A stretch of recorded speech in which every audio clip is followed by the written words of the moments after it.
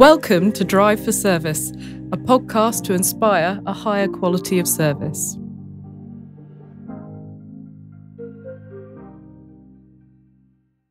A very warm welcome to our next episode of Drive for Service podcast.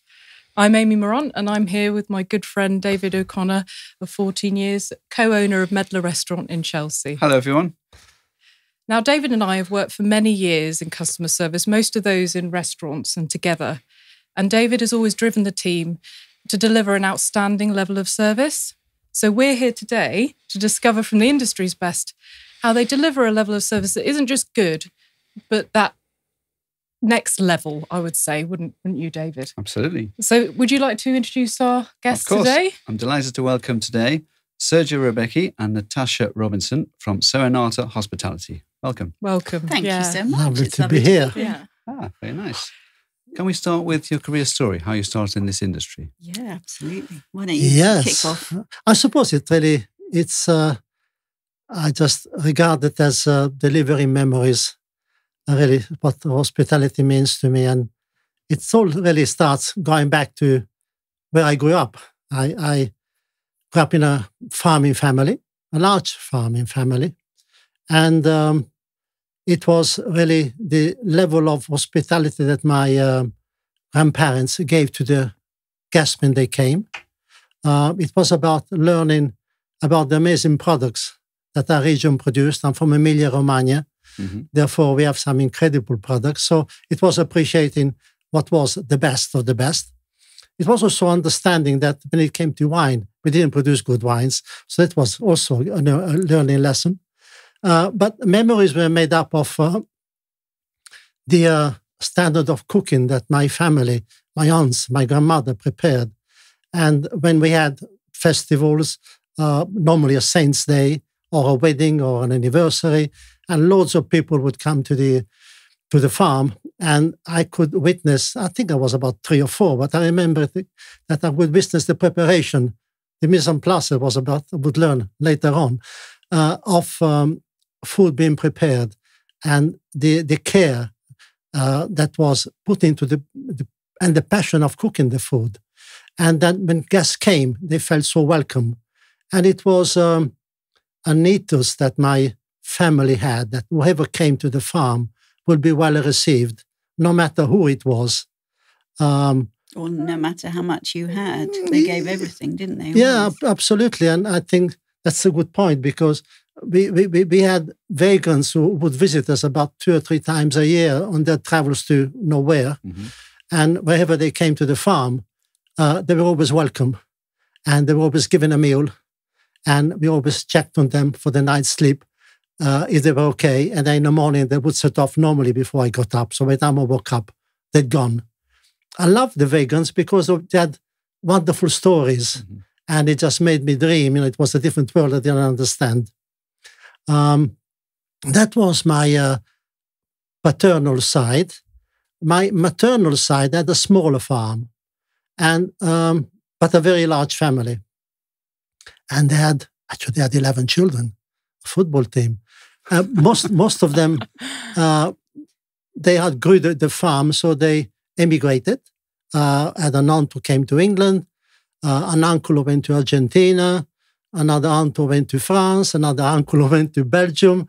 So uh, these people uh, came came back every year to visit the family, uh, and of course they filled me with stories of faraway places, um, of uh, um, sometimes they, they would bring me back some sporting kit because they knew I was very interested in sport, and it, it made me dream and it created memories for me that I wanted to eventually explore. And little did I know that throughout life, most of these memories and the thing that I learned uh, would become true. I would experience them myself. And um, at the age that I am now, it's very pleasing to be in a position whereby you're beginning to create memories for other people. Mhm. Um, and I suppose that that was the start of uh, of uh, hospitality. I don't know what hospitality meant at the time, but experiencing now the generosity of spirit and and the welcome and making people happy. And when people went, left the house, they felt, "Wow, that was good! What an amazing food!" But what amazing company. That was very important for me. Then as I grew up and, and, and went to school, I, I was very interested in football. Football was my passion. My, uh, I was about to say. my, my father was desperate for me to help him when I was off school, but I ran away to play football. Uh, I captained a, a young team uh, in my town, and I was so lucky to have um, uh, uh, the assistant priest of the parish, Don Filippo, who uh, used to do used to teach us religion at school, religious studies, but also he was a football manager. and uh, this man, That's the kind of priest you need. Yes. this man was just incredible because he was uh, over six foot tall, uh, extremely good looking, uh, as I'd learned afterwards, because the women in town were very fond of the of the curate. All the mums encourage their sons to go and And- play football. Yeah. and my and my recollection is of uh, of him doing training sessions with up on the football pitch, and he would lift up his black robes and run after the ball and take the ball. And I still have this picture in my mind. But most importantly, he he still the um, teamwork Mhm. uh, in all of us, and uh, in particular, uh, we thought we were quite good, and we suppose we were quite good with the small team around us. But he had um, he had a friend who happened to manage the youth team of AC Milan. So um, one day he said to us, "Look, you know, next summer AC Milan, this friend of mine is going to bring their team over to us on a visit, and I'll arrange a, a match for you." So we were very excited, you know. Yeah. Uh, so we had this first match, and they, they came on a coach. So how old are you at this point? I am uh, ten. Okay, 10. Ten. Right? Okay. 10. Uh, so we were all very excited. And uh, so they came and they all had beautiful, uh, uh, um, uh, obviously, foot, football Proper boots, kit, yeah. proper, proper kit. Mm. And we were just a ragdoll made, made up kit. Yeah, yeah, we played. So we played against them and we thought we were very good, but uh, we got beaten quite badly, I think 3 1 or 4 1. so it didn't end very well. But at the end of the day, uh, the, the AC Milan coach brought us a present, and the present was a football kit for all of us, Oh, Nice. the second strip, which are, was incredible to have. So time went by, and then the following year, uh, Don Filippo said, "Look, I think it's they've asked for a rematch. Uh, are you happy to have a rematch?" And this is what we've been waiting for. and um, So they clearly didn't think you were that bad a team to play oh well, if they wanted a rematch. perhaps you know? they just thought they'll beat Yeah. us again Mm. Easily. show these country Easily. bumpkins again. easily. Mm. So they Don't came. Yeah. they came and this time we had we had time to work on some minor tactics, but also to be a little bit humble, not to be as as bold as we were at first, uh, that we thought we were unbeatable. And as the match went on, the whole team played extremely well. We had we had a goalkeeper who was only about uh, I don't know. Uh, one meter forty, one meter fifty. So in a in a in a goal mouth is that's very small but he was just uh, reaching for every ball. Um, I played in defense. I played. I remember I played well, but everyone played well, and we won four one. So I under the feeling afterwards of winning was just the exhilaration was great, but what was really pleasing was the team effort. That Mm, what Don Filippo had done in his yeah. wisdom was to let's bring this team down to the let's teach them a bit but it's not about individual it's about teamwork Quite. i'm mentioning this because all of these memories are lasting and when you in life they come back to you and then you remember them and you think ah that Mm. was the message Yeah. which perhaps wasn't apparent at the time um And also, it sounds like uh, you playing a very, very good team as Yes. well. It shows you that level of excellence that the team could achieve, and you clearly did achieve it the second time round. Yes, so- yes. And what you can achieve with teamwork. yeah, Yes, yeah. absolutely. Yeah. And I remember that um, the following week, uh, Don Filippo, uh, uh, he, he said he wanted to speak to me. He said, "You know, uh, uh, you you very much impressed the, uh, the the coach. Yeah. and he wondered whether you'd be interested in going to Milan to have a, a trial. uh, Uh, So, yes, uh, probably. so I, I, I didn't go. Wow. I wasn't. I wasn't really interested. Okay. uh, mostly because I felt so attached to my teammates. Mhm. Uh, now, if if they had asked the team to go, that would have been great. But I just felt that as an individual, I just didn't feel comfortable. I suppose that was a trait of my formation in life, which it's a, Mm. a trait that I'm happy with and I enjoy. Also, he's a Juventus supporter, so he wouldn't go to Milan. I understand that. yeah, yeah. Okay, See, fair enough. makes sense, Fair enough. Yeah. um, so so pretty much that that that was that. And then my uh, one of my aunt uh, had a business in in London. Um, she had a restaurant in Shepherd's Market, Mhm.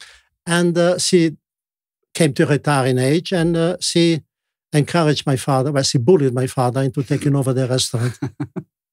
so my father moved to the, my parents moved to the UK, and I finished my high school. Then I went into catering college, and um, um, then Juventus Again, bought this amazing player, um, the best player I've ever seen to this day. Uh, his name is John Charles, uh, uh, Welsh. He was, was he English? No, Welsh. Welsh. Ah, Mm. Uh, he was a centre forward, also played as a centre half. His brother Mel Charles also played played for Arsenal, my other my other team. Um, and he came for he came to Juventus, and I think um, he was he was an amazing player because he never got booked in his career. 536 matches, never got booked. He was a fantastic head of the ball. He was uh, uh, they used to call him a gentle John because he was kind in his play. If it fall, if he, if he committed a foul unwittingly because of his posture, he would stop the play and pick up the man. He, he, he was a one-off. But why I'm saying this is because, uh, but then he had left Juventus. I think he stayed with us two or three years. He went back to play for Leeds. So I just wanted to come to come to the UK because I wanted to go to Leeds to play. I had no idea where Leeds was. Uh, just as well. so so I came I came back to visit I came back to visit my my uh, my parents and then find out how far Leeds was. So I never got to Leeds. However, um, so these are formative years, and and the the um, um, the experiences that that one has and the memories that were created in a certain aspect then carried on because at, at college um, I had again another incredible mentor, uh, and he uh, at the end at the end of this college the, it was catering and tourism. So at that time I was quite interested in being a tourist guide because it brought me places, got to meet new people. Bit of travel. Yeah, Yeah. yeah. Absolutely. Uh, but uh, uh, then I realized that perhaps I don't know, it might not happen. But so I came to the UK, and um, So where Uh, did you go to catering college? I was in, in, in northern Italy, Okay, northern where, where I come Yeah, from. yeah. Yes, and um, the the head of the college had a friend in the UK, hmm and uh, um, I didn't think I did particularly well at the, at the college. I think I was a bit lazy. I was a bit too big-headed, I think. But he saw something in me, and he said, "Look, uh, I think you've done very well. Uh, I have arranged for you uh, a prize, a trip. Astonishing. So he arranged for me a, trip to go to the Bergues in Geneva. Then I went to the Dome in Cologne, George V in Paris, and then the Cumberland in London. Uh, wow, what a trip! Lovely. Yeah. So I stayed. I stayed two months in each hotel. Uh, Fantastic. And it was really the first time I experienced different cultures, uh, different languages. I didn't speak a word of English. I studied Mm. French at school, so it was eye-opening. And when I came to the, I didn't really want to the UK. I got very fond of Paris, and I wanted to stay in Paris. I had an aunt who lived in Paris as well, but and but it was part of the trip. So came to the UK, and went to the Cumberland, and uh, the Cumberland was a four-star hotel, a big hotel factory, uh, great money maker. Uh, but there, there was a, an incredible manager there called uh, um, Mr. Norman Braids, a former RAF officer who had taken over, who was a, a well-known manager, and he was about to open a new restaurant called Le Pedor. Uh, restaurants in at that time, so I'm talking about now the late uh, mid 60s. Restaurants in, in that time were uh, in the big hotels were all grill rooms, pretty much.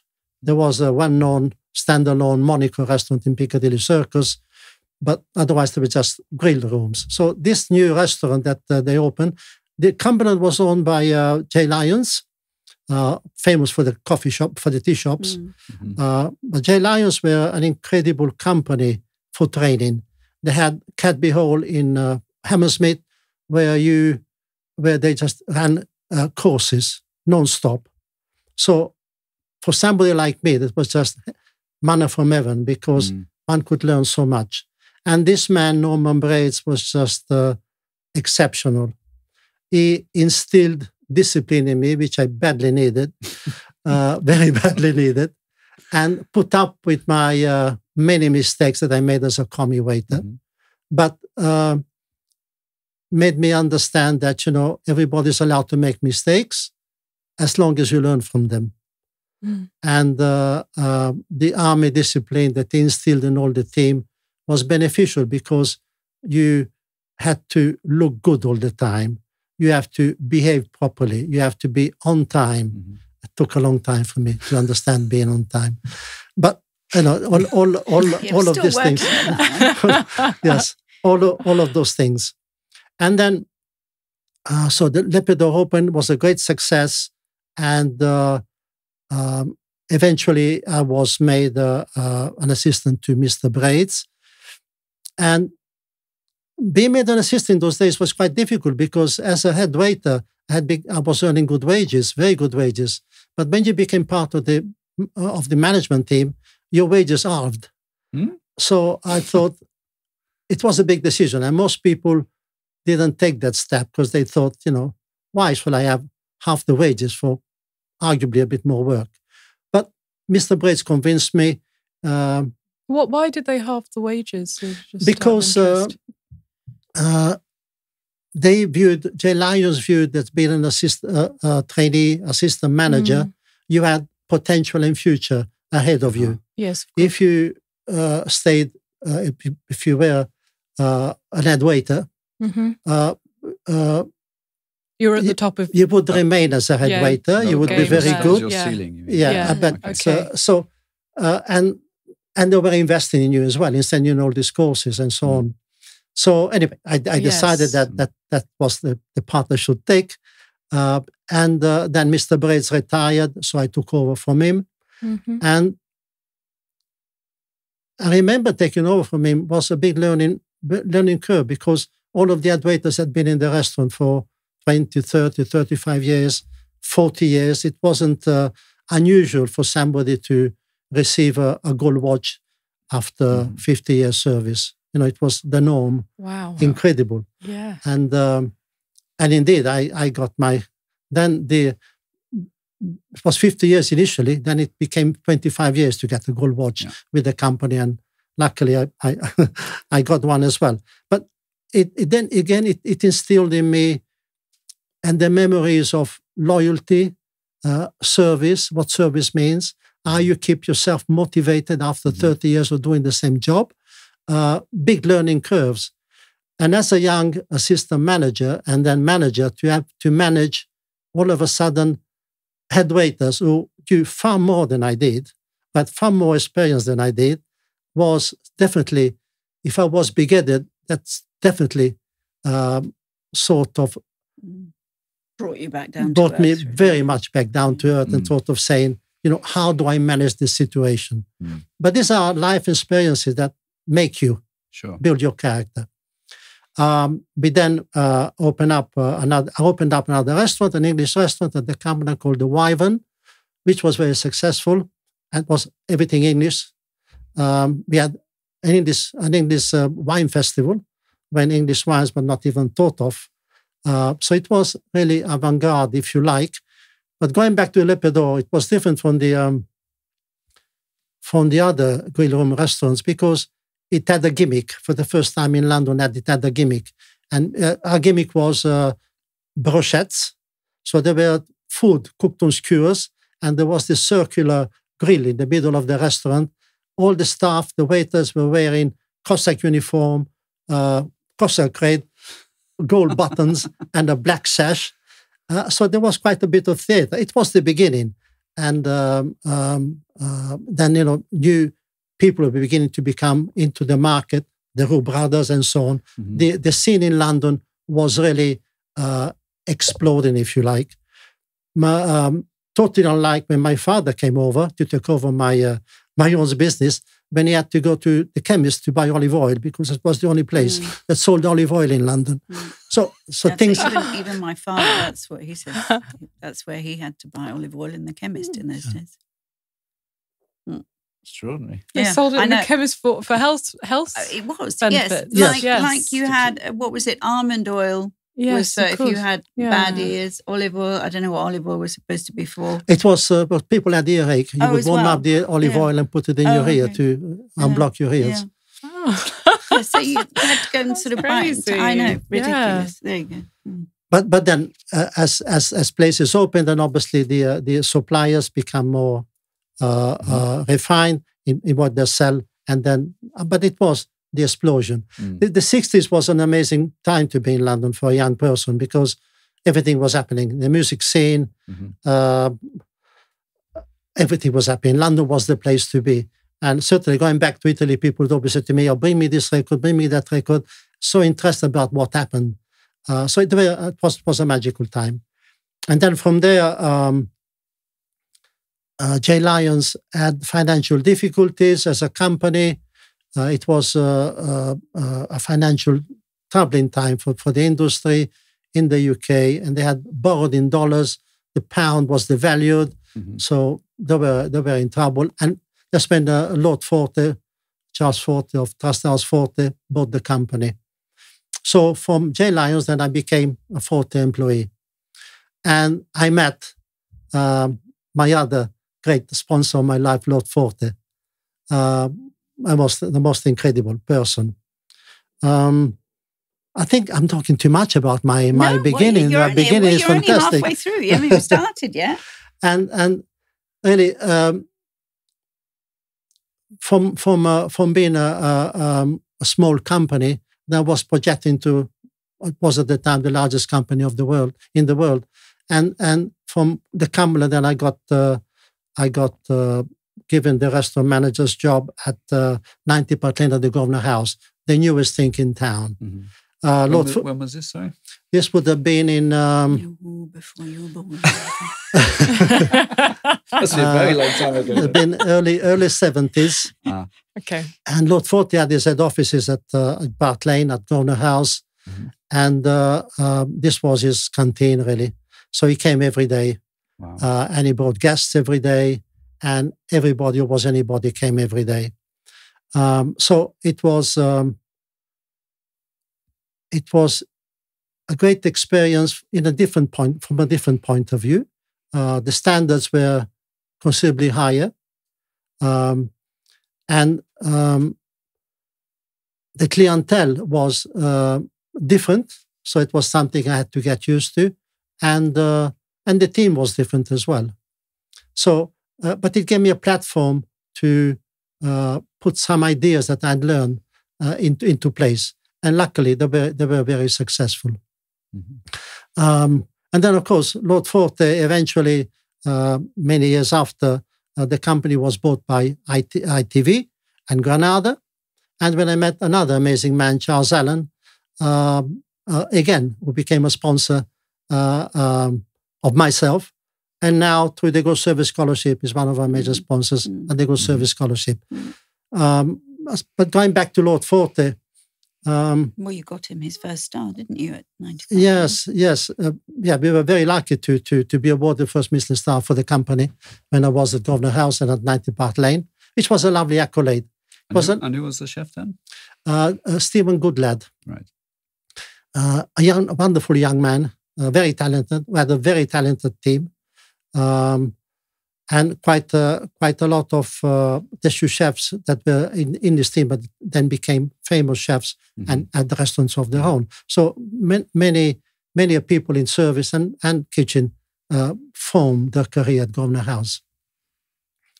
Um, why don't you tell us a bit well, about you your- haven't even got to us yet. So, what happened to b- between Grosvenor House and ending it up? The best with part. us? Yeah. Okay. The best part. Absolutely. Um, yeah. The uh, when when when we had our first Michelin star, it was um, at the time that Louis Outhier, a famous three Michelin star chef from L'Oasis uh, at La Napoule, um, was a consultant to the uh, to the hotel, um, uh, and then he uh, he had closed. He had then uh, left his restaurant, uh, but, but two or three years later. But before he, he, le- he left his restaurant, Lord Forte asked me to um, go and reopen L'Oasis at La Napoule. And before that, I went I went on trips with. Louis Outhier was he followed the trail of great chefs like Bocuse and so on, who opened up restaurants around the world. So with Outhier, we went to um, he took me to uh, Osaka in Japan to to open to oversee the restaurant there, and then we went to Bangkok. Uh, Very um, at the- different at- styles of restaurants. at the then, Mandarin Oriental. thought, yeah, yes, at that time. and yeah. at the Mandarin Oriental, the uh, the Normandy restaurant, which still exists now, with with Alain Roux is uh, taken over now. Uh, and Louis Outhier was um, an incredible chef who had uh, introduced Oriental flavors into his cooking, um, and which were, were totally unknown at the time. Uh, a classically trained chef, uh, trained by Ferdinand Point. Uh, um, and he was, in, to, to, to my mind, he was one of the great chefs of our era de- definitely. And then uh, when he reopened his restaurant at, uh, at L'Oasis, because he had, he had retired, but then he was coaxing to reopen it again for, for a Japanese company. He then asked me to go and open the restaurant at L'Oasis at La Napoule. Um, with Lord Forte, obviously, uh, said that I should go. And it was interesting to open a restaurant in um, in France. Um, I I'm, I'm not a natural French speaker, even though I studied French and I Mhm. fairly speak French fairly fluent. But when you're dealing with customer, obviously uh, the articulation is quite different. Mm. Uh, so it was very interesting. It was interesting also to um, uncover the old restaurant furniture and put it into L'Oasis. L'Oasis is a small, small villa house, two-floor house, and has a great uh, uh, garden with plane trees. And in summer, and it was only open in summer, we would uh, set up the restaurant, but then everything will be served outside also. And, and we always hoped that there will be no uh, no bad weather, so everybody will Mhm. dine outside.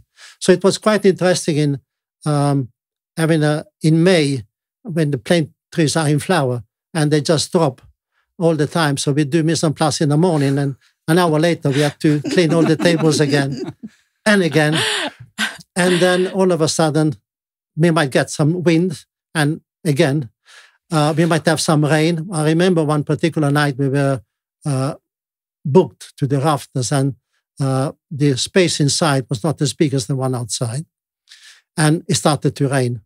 So we were booked. It was the it was at the Cannes Festival. Uh, we had actors, we had producers, we had directors coming over.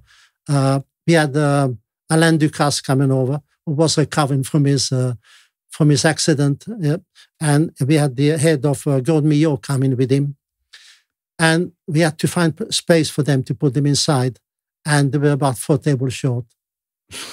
So that was exciting. It's not an unusual challenge for was British say, restaurants. yeah, I have to say, the rain. No, and that, But, ladies yeah. and gentlemen, is hospitality. Yeah. Dealing with that Yeah. situation and Gosh. making it seem as if Yeah. nothing Yeah. has happened. That's But it. These these situations are are uh, overcome so easily because of teamwork, Mhm. yeah. and I think that we sometimes underplay how strong our teamwork is in our establishments and how good our colleagues are, and how we react to all sorts of situations. Um, I mean, you know, in my time, we've had the three-day week, which you might have heard of. Um, we've had f- financial disasters where things went really, really bad. Um, recently, we've had the uh, COVID situation, Mm. but our industry is so resilient; it always recovers. Yeah. And not only that, I think it comes back better and Mm. stronger. Mm. And I certainly believe that the COVID has made us uh, look uh, in a different way how to run our businesses. I think perhaps we had um, become a bit too um, complacent in the way we ran things. Perhaps we hadn't taken the eye off the hours that our people worked. Mhm. Uh, perhaps the remuneration we gave to our Mhm. people. Mhm. Uh, so that made us think. Uh, But you know, we, we're good at learning, and we one of our great strengths, I think, we learn we learn on our feet, on our feet. Mm, Sure. You know, Mm. because we have to react instantly. Mm. We don't have time to do to do charts and do consultations. Customers in front of you, you got to react Yeah. there and then, yeah, and hopefully you make the right decision. yeah, Yeah, absolutely. S- Uh, I mean, there are lots of lots of other things that happen. Certainly in Forte, uh, but uh, uh, but I'm sure we'll come we'll come along. We'll, we'll touch on the subject afterwards. Absolutely. So, wh- where in the timeline did you meet Natasha? Uh, See, fast forward a bit. would you like the date and the hour and the day? yes, please. when uh, when when 90 Park Lane um, was uh, then taken over by um, by Nico Ladenis, the hotel. The, Mm. You were step back a bit because you were very instrumental in that. So don't underplay your your part Yeah. in that. Um, I, I by then I had become I had taken I become food and beverage manager, Mhm. and it, it it was it was an, it was looking for a new way of doing things, and I I, I realized that in big companies uh, invested heavily in an outsider, Mhm. uh, much more so than what the talent they had in the in in in, in the house, because I don't think it was wrong. I think it was what the, the market wanted. So when it came to choosing uh, uh, um, a great chef that would work well with Grosvenor House, I think Nico Ladenis was quite quite important uh, and, and an incredible name. I had the good fortune. I had a meal at Great Portland Street when Nico had two Michelin stars, and it was one of the mo- of the best meals I've ever remember having. So it was it was incredible.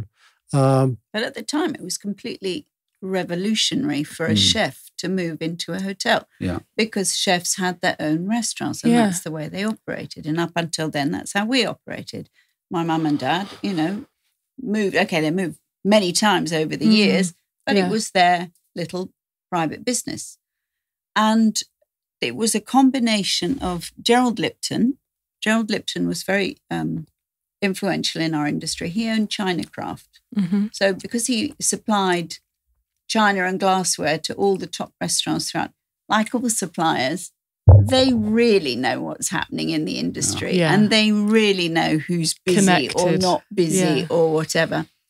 And he, so you used China Craft at Grosvenor House. yes, So it was a combination of Gerald Lipton, and and Gerald Tony Lip- Merkett, yeah, and Gerald the- Lipton came to the Oasis at La Napoule every summer on because he also yeah. had a property in the south of France, absolutely. So he knew L'Oasis, he knew you from L'Oasis, he knew you from Grosvenor House. Tony Merkett was the then general manager of the Grosvenor House. Um, and somehow the three of you got together and thought, I know, why don't we put a named chef into our empty premises? Mhm.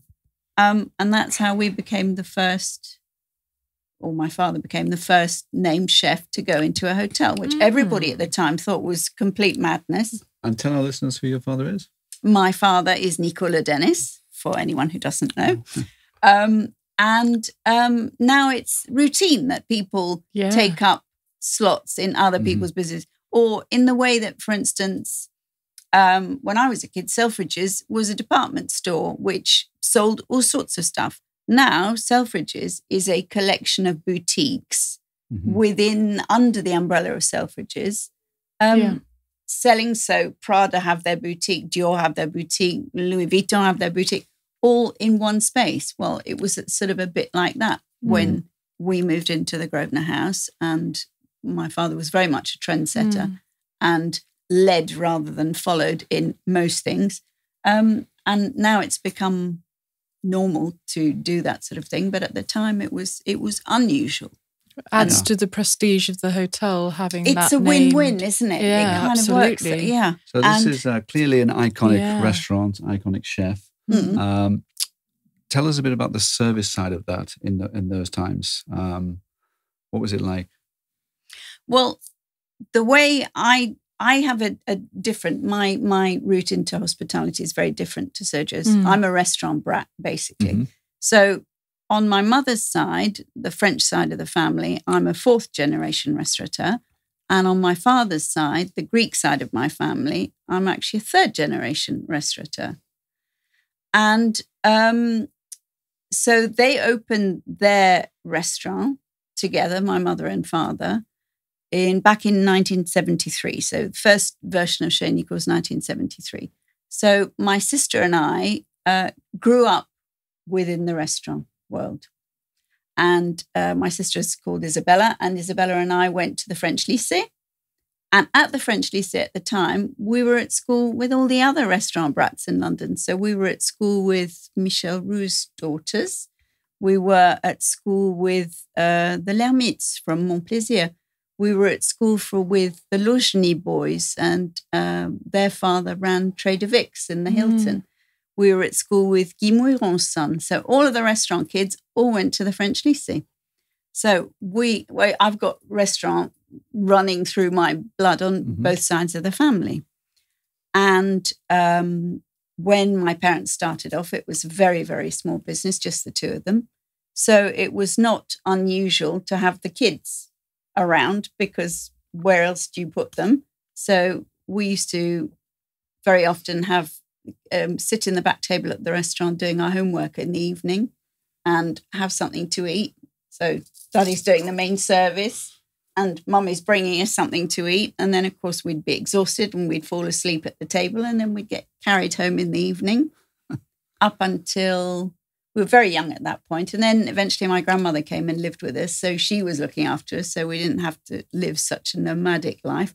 But I still very vividly remember on a Saturday morning going to help my parents clean the Mm. restaurant, clean the restaurant when you're a kid. So they give you a, a brush and they say, go and brush the banquette. So you do it. that was my big job, brushing the crumbs off the Yeah. banquette on a Saturday morning and that sort of thing. But that was totally the norm for That- you. And that was never exactly. going to be any different, right? Because So- you're Exactly. So that's how we grew up. So actually, there is nothing I know more than restaurants, Yeah. inside and out. And the thing is that when your father is a chef and your mother is front of house, Mm. I know all sides of the business. So yeah, the kitchen, the chefs, the food side, and the front of house staff. And that side of how you run a restaurant. Mm. And of course, the finances. But when you're a child, you don't know what that means. But you know that your parents are always talking about money or the cost of things or Mhm. how are we going to do Mm. this. And my mother used to walk around with a, a basket where she had, in effect, what was the till? It was a little tin with a key where she'd keep all the all the takings from the thing. And Isabella and I used to think this was like fascinating. That all this money, all this money. And it was like, it was probably about what Daddy always used to say that I think their first week when they opened in Dulwich, they took the Mm. principal sum of five pounds and they thought that they were millionaires. They thought they'd Mm. made it. So there probably wasn't very much in the till, but Isabella and I used to think this was terribly exciting. And then um, as I grew up, I did things like I used to grow herbs for my father. Now we're going back to remember the days of saumon à l'oseille. Yeah, I used to grow oseille for my dad or sorrel in the garden um, and things like that. And I first started actually working in the restaurant when I was about 16. I used to help my Mm. mother on Friday and Saturday nights. Um, so that was my first foray into actually working in front of house service in the restaurant. And um, But you'd up to that point, you'd watched your mother a lot as well, right? well, You know, it, it she was, just sort of just part of it. I don't. We were because restaurant life is so intense, as we all know. We had to be not far from the actual business, so either five Mm. minutes drive or living on top. When we Mm. moved to Battersea, we actually lived Mm. upstairs. So it was not uncommon for us to come downstairs in the middle of the service, not exactly in our pajamas, but pretty much, and say, Mummy, I need this, or can you help me with this? Mm. And she's like, Yes, you just wait there one sec. I've just got to go and take this order and I'll come back. And so it was not our, our customers knew. I mean, a lot of our customers knew us from babies all the way up to when we were actually running the restaurant. Yeah, there's some beauty in that though as It's well. lovely. A family restaurant, you know, and you that was that very so much anymore. part of what made our restaurant so different, really, to other restaurants. Um, and then by the time I got to about 17 or 18, when I was doing my studies, which I loathed because I am I'm not a naturally studious person. Yeah. Plus, I'm dyslexic. So anything visual is interesting to me. Anything that you have to write down or learn is very boring and tedious. Which really, yeah, was the, the, the way they did education for a large number of years, wasn't it? Exactly. and They were just, you know, Exactly. inside that, that was how you were measured whether you were good enough. Oh, you yeah, absolutely. Yeah. Um, so I uh, got to study time and I thought, what's the thing I know absolutely the most about in my sleep, backwards, forwards, I don't need to study or know anything about is restaurants. Yeah. The last thing I want to do is go into restaurants. I've just seen my parents do it. There is no way I'm going to do what I want to do.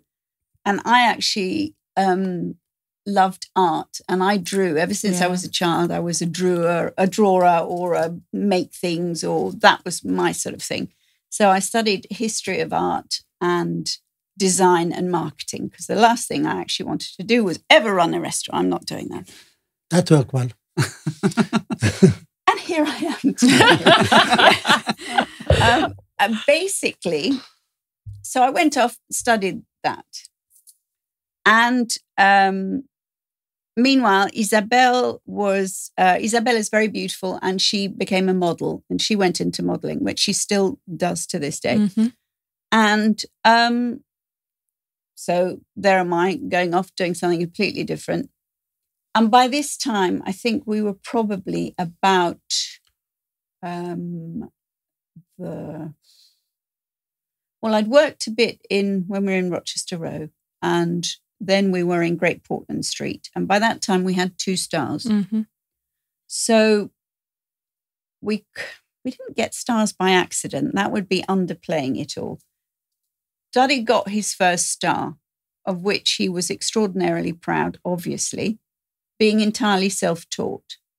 Mhm. But because my father was very, he was a perfectionist.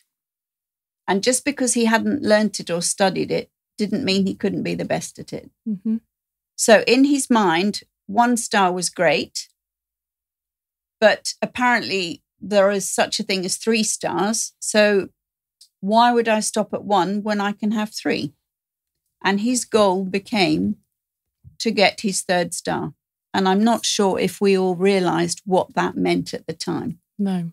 in this little mom and pop restaurant with the kids running Yeah. around and three German shepherds by that time as well.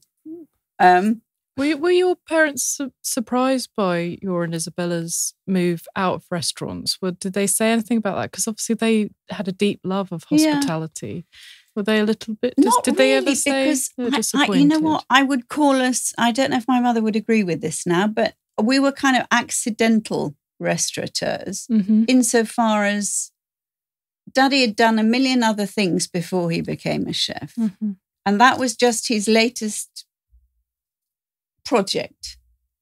But he discovered that he was actually extraordinarily talented at it Yeah, and exceptional at it. self-taught. Yeah, he's he's got to be right. You know. Well, for instance, yeah, when he learnt to cook, the big explosion that we've had in recent years in cookery books and that sort of thing, Mm, that was yeah. non existent. So if you wanted Yeah. to read a cookery book, you would have to read it in French. Mhm. So take one step back. How do I achieve that? I have to learn French. I mean, that was my dad. So obviously, because my mother and her family. you got to admire that kind of well, yeah, no, see, yeah, yes. drive. So yeah, drive absolutely. Mhm. So um, my mother and her family are, are French, so Yeah. you know he would say to mummy, yeah, "Help me to understand this," and translate the recipes and all of that sort of stuff. So he learned initially from a book, and as I said, we ended up with one star, but that wasn't enough for him because one star is not the pinnacle of the the star system and this yeah. mythical thing called Michelin, which he Mhm. was learning about. So we need three stars. And we decided as a family, really, that the only way, not the only way, one of the best ways for us to achieve that was to make it a family project. Because if you all work together and you all pull together in the same direction, no one is going to work longer, harder, or better for you than your own family Mhm. together. Because the achievement is theirs as well. Yeah. Ultimately. So we all came back together. Yeah. And ploughed on until eventually we got our three stars. Amazing. Oh, you say it like it was so easy.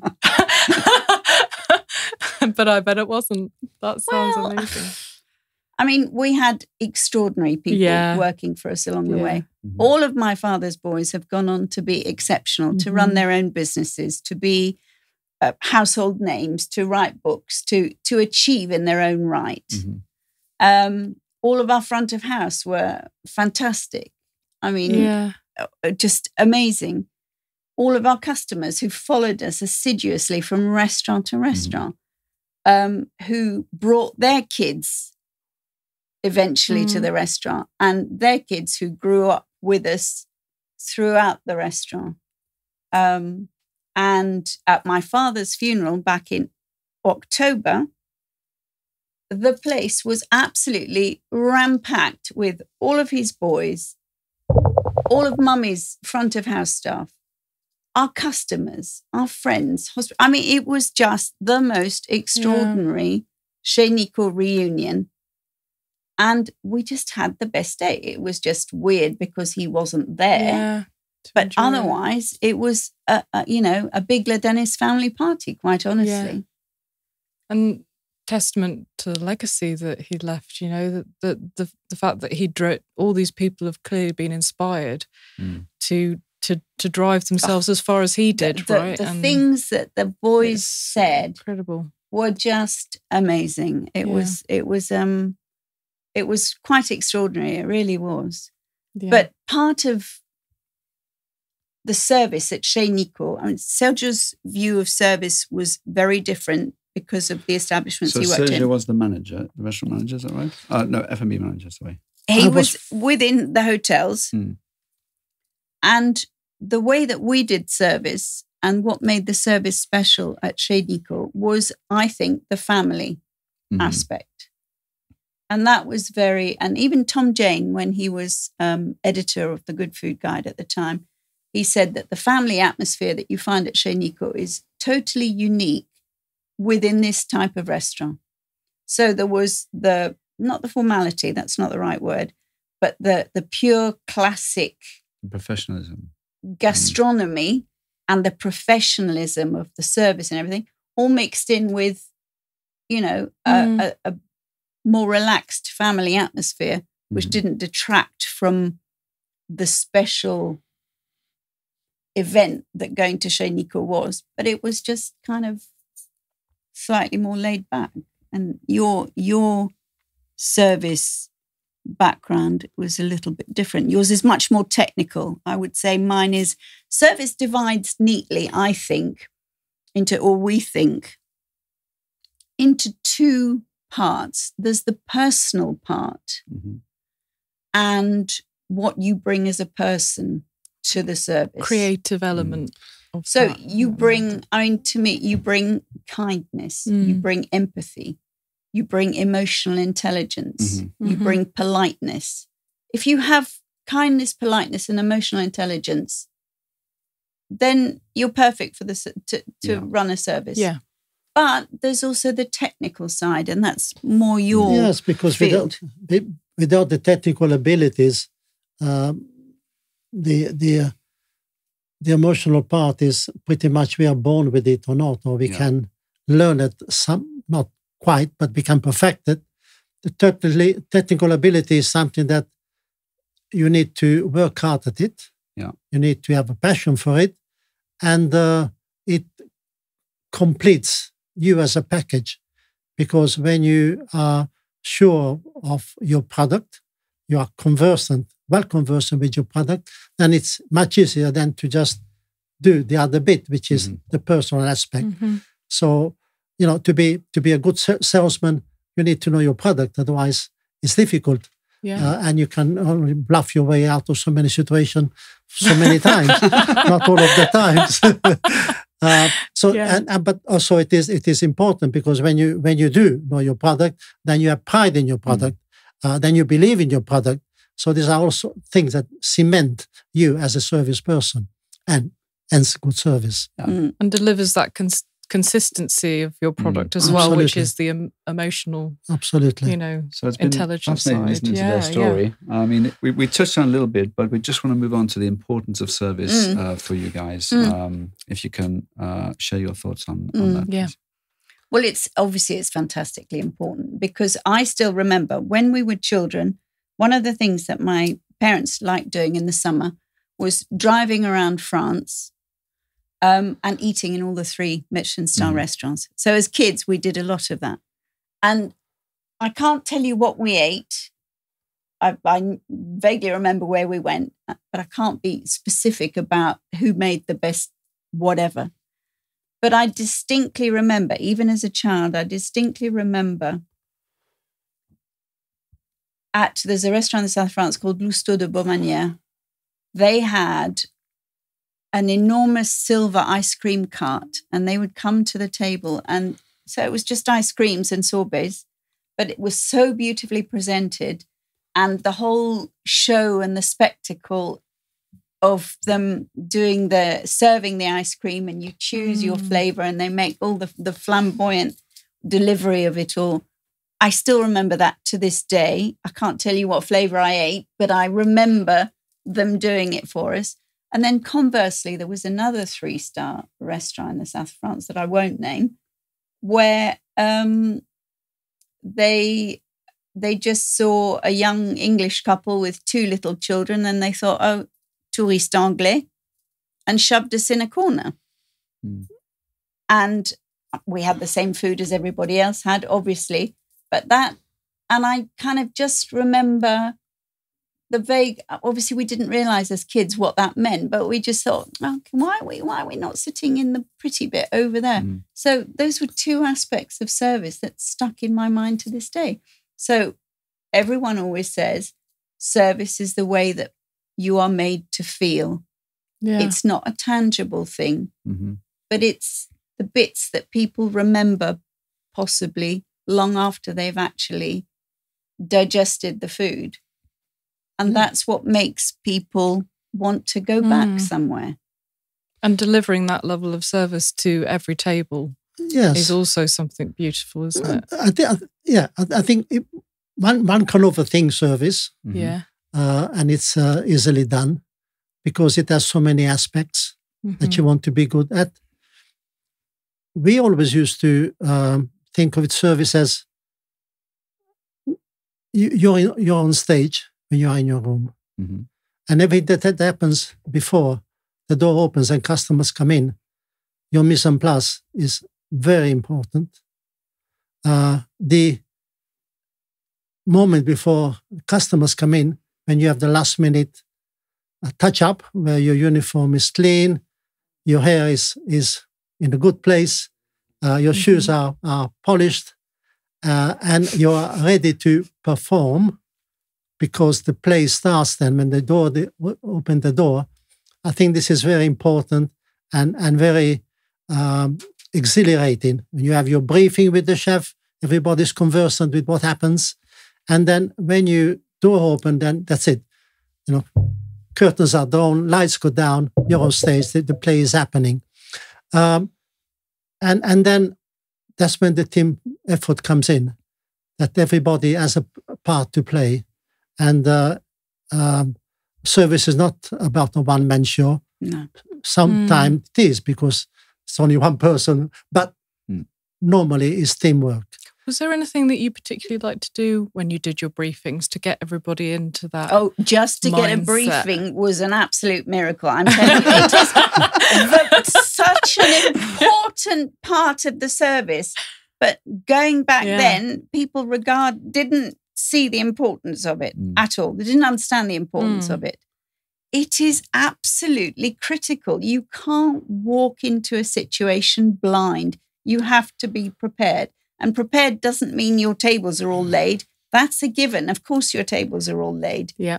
you have to know who's going to walk through the door. You have to know why they're there. You're going to have to know how many are there. You're going to have to know how long they're going to be there for. I mean, it just, it is crucial Mm. to get everyone together for five minutes at the beginning of service, get everyone on the same page. Get it's it's the equivalent of a, a huddle in in the sporting world before an event. It is crucial. Mhm. Mm. And one of the things I love the most is when you walk past a restaurant just before lunchtime, or when we're at the Ritz working, very often we are, um, and uh, we're having a, a meeting or something or conversation with someone just outside, and I can see them doing their briefing, and I just I absolutely love that. And very, and the other day we were with someone, and I just got up and I went to listen to the briefing at the door because to me that is so important and now it's very very common and everybody Yeah. does it Yes. Yeah. and very often on instagram people post oh look pre-service briefing and i'm always the first to go absolutely we need a briefing keep up the briefing Yeah, because because uh, we were always taught that you have to think on your feet, as we said before. Then obviously, and and we are masters at overcoming bad situations. Mhm. Uh, and sometime there was a feeling that you didn't need, you didn't need a briefing because you could cope with anything that Mhm. happened.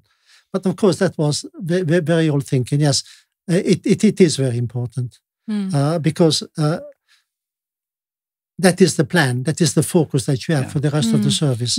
And without that, things can go It's wrong. like your game plan or tactics in a Totally. team. you know? Yeah. Yeah. Totally. tactics Things can that's go exactly wrong. what it is and and things can go can go very badly wrong sometimes if you don't have that. yeah And to to have the team, the kitchen, and and the service to be on the same understanding, Sure. then obviously things are much easier. Mm. Yeah, it get, gets everything aligned. Yeah. Yeah. Yes. I- and it, and it gets you in the zone yeah. Well, I was just about to say, yeah. Yeah. When because when I worked in reception office, I used to print out the briefing sheets. That's one of the things. So I always knew whatever David was going to say Yes. because I knew who was coming in. Yes. Um, but I think the thing for me was that it was, um, you know, kind of passing through that veil of right now we're in, yeah we're now we're in Yeah. professional mode. Yeah. we're they're about to come in. We're on Yeah. place. Yeah. Yes, And yes. Uh, it was an opportunity as well for for those who are more experienced, uh, the managers, um, to you know give over their experience to those who may be doing Mhm. their first service, who may not be, you know, uh, knowing what to expect, and to kind of, you know, bring it calm, bring Yeah. that level to Yeah. that professional Yeah. feeling, wasn't it? Mm. Yeah. Give, give them the information that they need that Yeah. will help Yeah. them to get, deliver what we Yeah. want to. I do, yeah. Don't leave anything to chance. Yeah. Make sure that everything is covered. Yeah. yeah And encourage people to ask questions. At, uh, at, uh, Yes. just, it is not Yeah. just a lessening. And it's Yeah. nice when you Situation. give them a, a sort of vision of what to expect, and then when it does happen, the, the how did you know that? Yes, yes, absolutely. That makes, Makes it look it- so professional doesn't Makes it? it seem effortless, doesn't it? Oh, you know. Certainly. I I, think- just remembered. Yeah. as, Yeah. as restaurant as restaurant people Yeah. sometimes we we lack and uh, uh, what, when I became a, a food and beverage and banqueting director at Grosvenor House, it was good to have people to restaurant people to deal with events Yeah. Yes. because when you have an event, everything has to be planned beforehand. hmm Because you know there are no stations for cutlery, Mhm. there's no extra glasses standing there waiting for you. You got to plan everything, and so it becomes into the mindset Yeah. of being ready. And that's very important.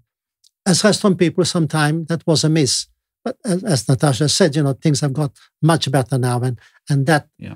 key information point is there now. It happens all the time, which is great. Hmm. And of course, you get you, you, you also get the other recognition Yeah. that the customer wants because ultimately service is about uh, recognizing and valuing Yeah. why people come into your restaurant Mm. Well, people that- have traveled, people who have But that kind of leads us on to the next uh, Yes. topic Yeah, I want to talk about, which is uh, customer relations and regulars. Mm. How would you encourage those people back Uh, to you?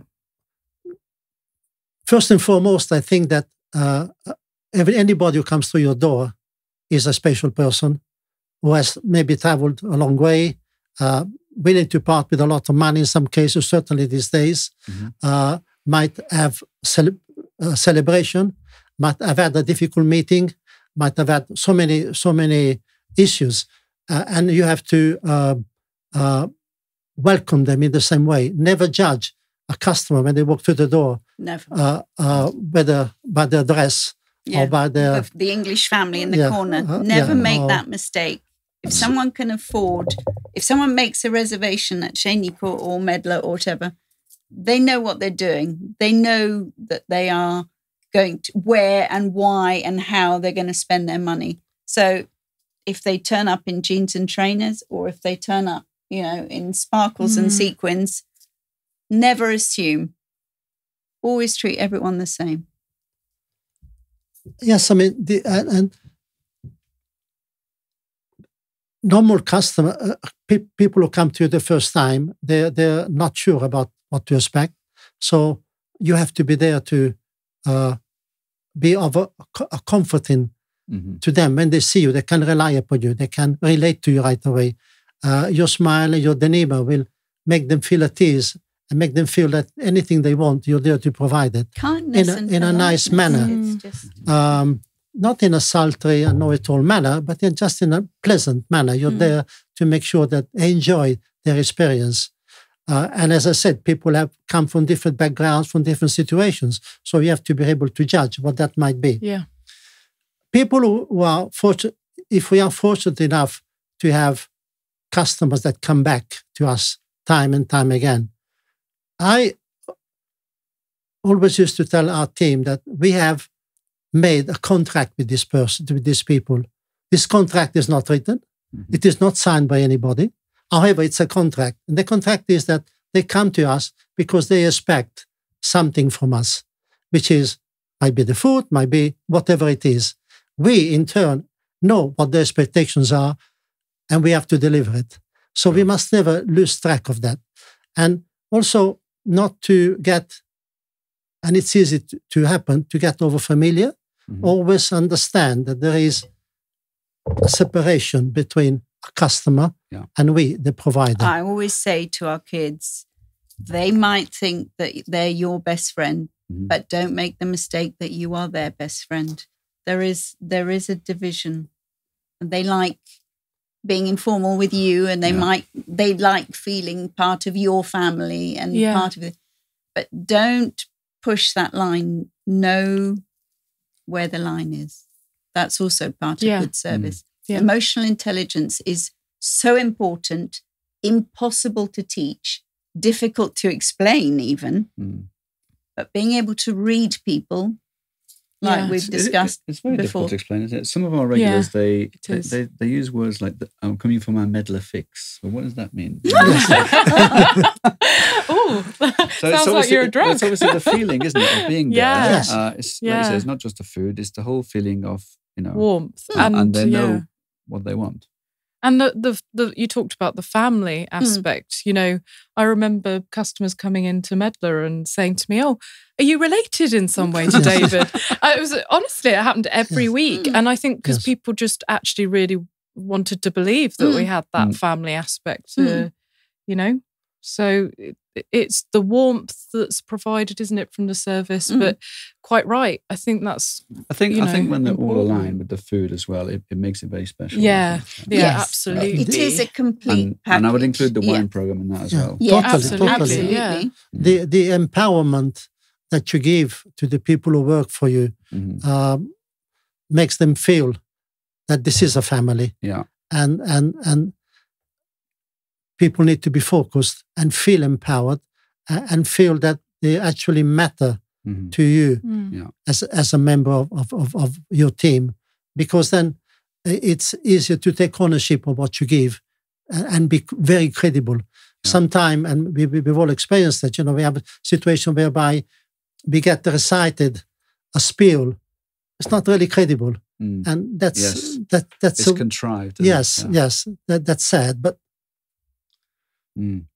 Well, it's fun, funny what you you were saying about um y- you know your your team as well, but that leads us on to our next question, doesn't Mm. it? How you would build and motivate your teams? If you were to- Again, from our Yeah. side, and my, very different to Yeah. Sergio's side, the family aspect of our business Yeah. was so much part of everything. Integral. So part of obviously us as a family, hmm and that family made that business the way it was. Yeah. The customers then joined in that family, and we all grew up together. Um, and Do you think that also solidified your teams together? They also felt and the Like a staff family also. member. I mean, we had members of staff. I mean, Jean Luc worked for us. How long did Jean Luc work for us? God, years. Yes. Sorry, Jean Luc, I can't quite remember. But he was our, our maitre d' for, I don't know, I want to say 10, 15 years at least. Um, our chefs in the kitchen stayed for many years. I mean, joining Chez Nico, you really became part of the Ladenis family because Yeah. everything was so integrated. I mean, I uh, reception was my big thing as we've Yeah. had these conversations before about reception. Um, I remember at one point I had a tiny little flat off the Edgware Road. This was when we were in Park Lane. And um, I had two receptionists living with me, two of the girls, because, okay, I'm a London kid and I grew up in this wonderful melting pot that we call London. But a lot of kids travel from around the country into London to find work.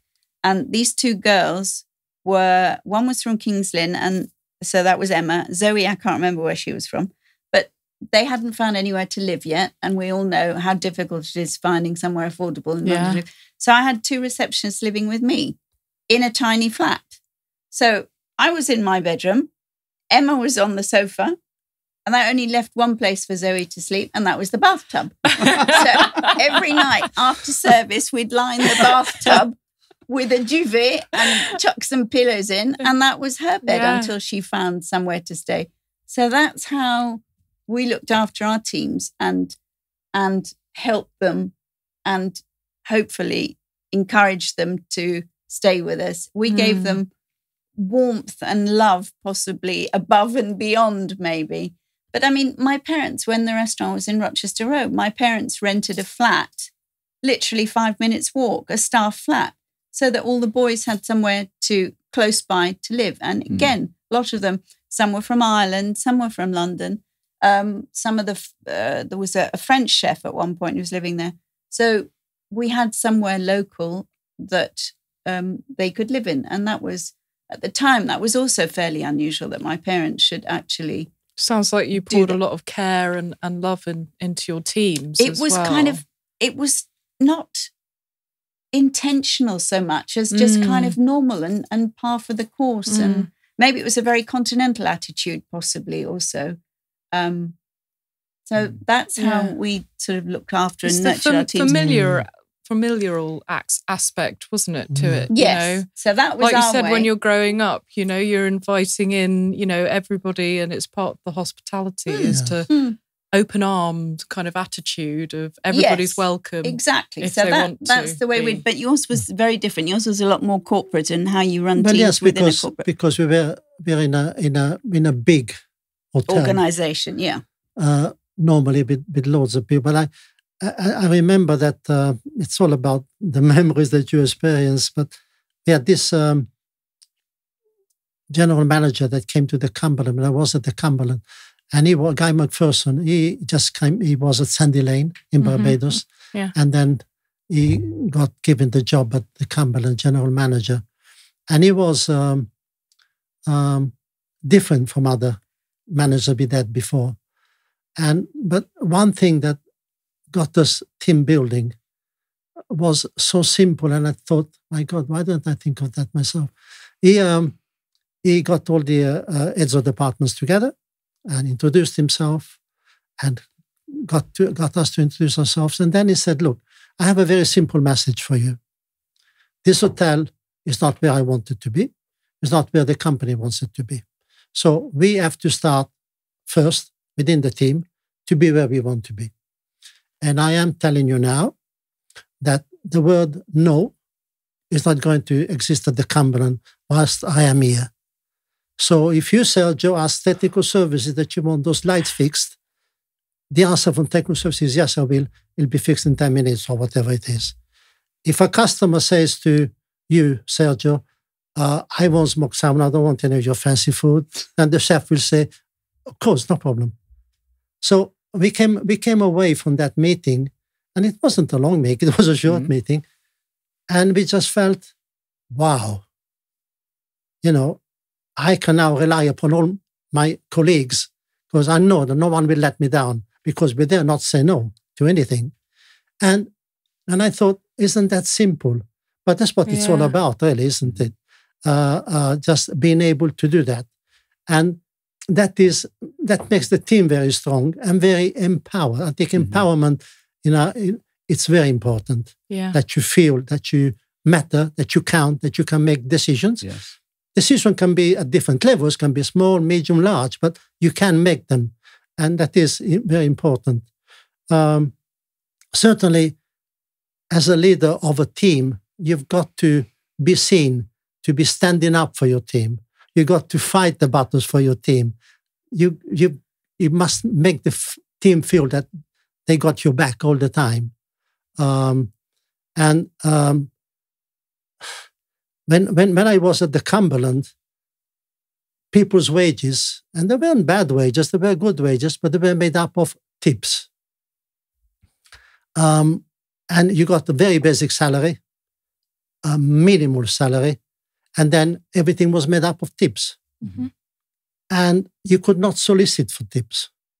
Tips were given voluntarily Mhm. by your good service, and tips came in various sizes small, large, nothing.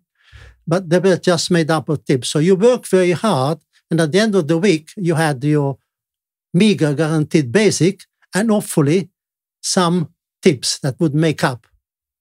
Um, so, thanks to Lord Forte, when I went to the Grosvenor House, I was able to go to him and say, look, you know, can I, but you please allow me to introduce service charge in the restaurant? Didn't exist in London, didn't exist in hotels. Um, and he said, come back to me. But I need a bit more information. What does it mean? Mhm. What are the implications? Uh, what does it mean to the average bills?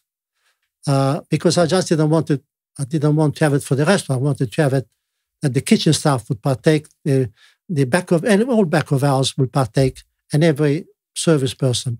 So eventually, the uh, uh, came back, said, okay, fine, let's have a six month trial, see how it goes. So that that happened, and it was easily accepted. Uh, customer did not really mind, um, by and large, and uh, it was discretionary, of course, and and then it was adopted by everybody, and this still is the system we have now. Yes.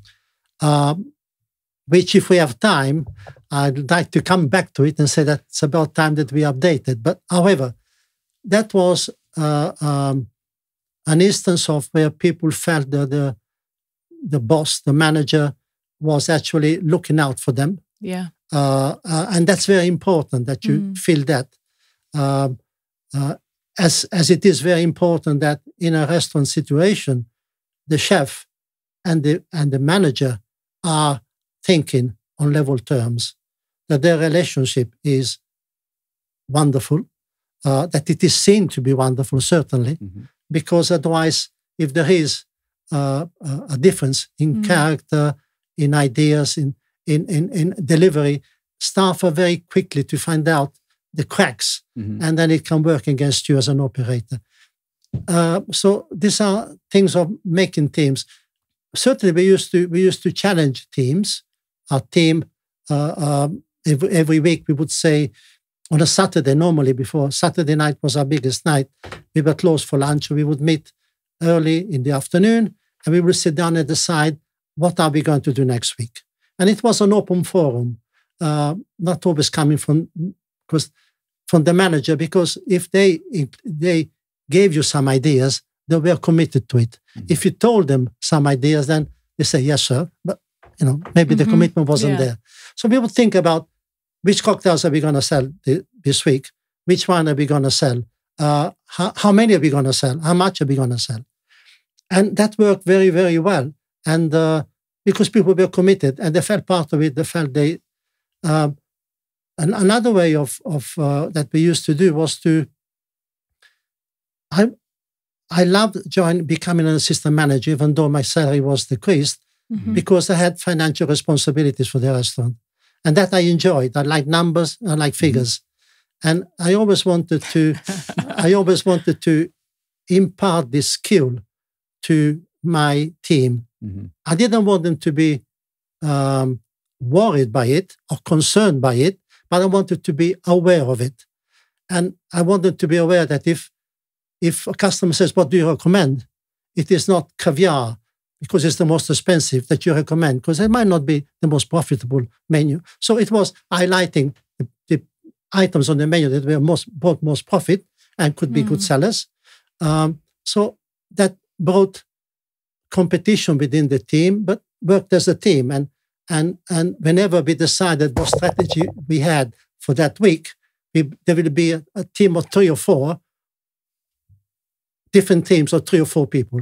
And at the end of the week, we would look at the results, how they done. So Bit of friendly competition. We Never competition, hurt any team, but, did it? but as a group, not as an individual. Yes, of Because then, and then we would change the groups every week. Yeah. So that, because some people lagged behind, some people were very good. So Mhm. that that brought stability and success. It's easy to to motivate someone if you give them the reasons behind why you're Yes, asking yeah. them to do something rather than just blindly going do it. Don't you think? And Absolutely. and yeah, certainly I can imagine the financials bringing the people into understanding the reasons behind behind you know some dishes being sold more than others. Absolutely, it's Yes. brilliant. Yeah. Yeah. So, um, Sergio, Natasha, um, on on my on my teams over the years, Mm. um, the sommelier is often like the star striker if it's a Mm. football team.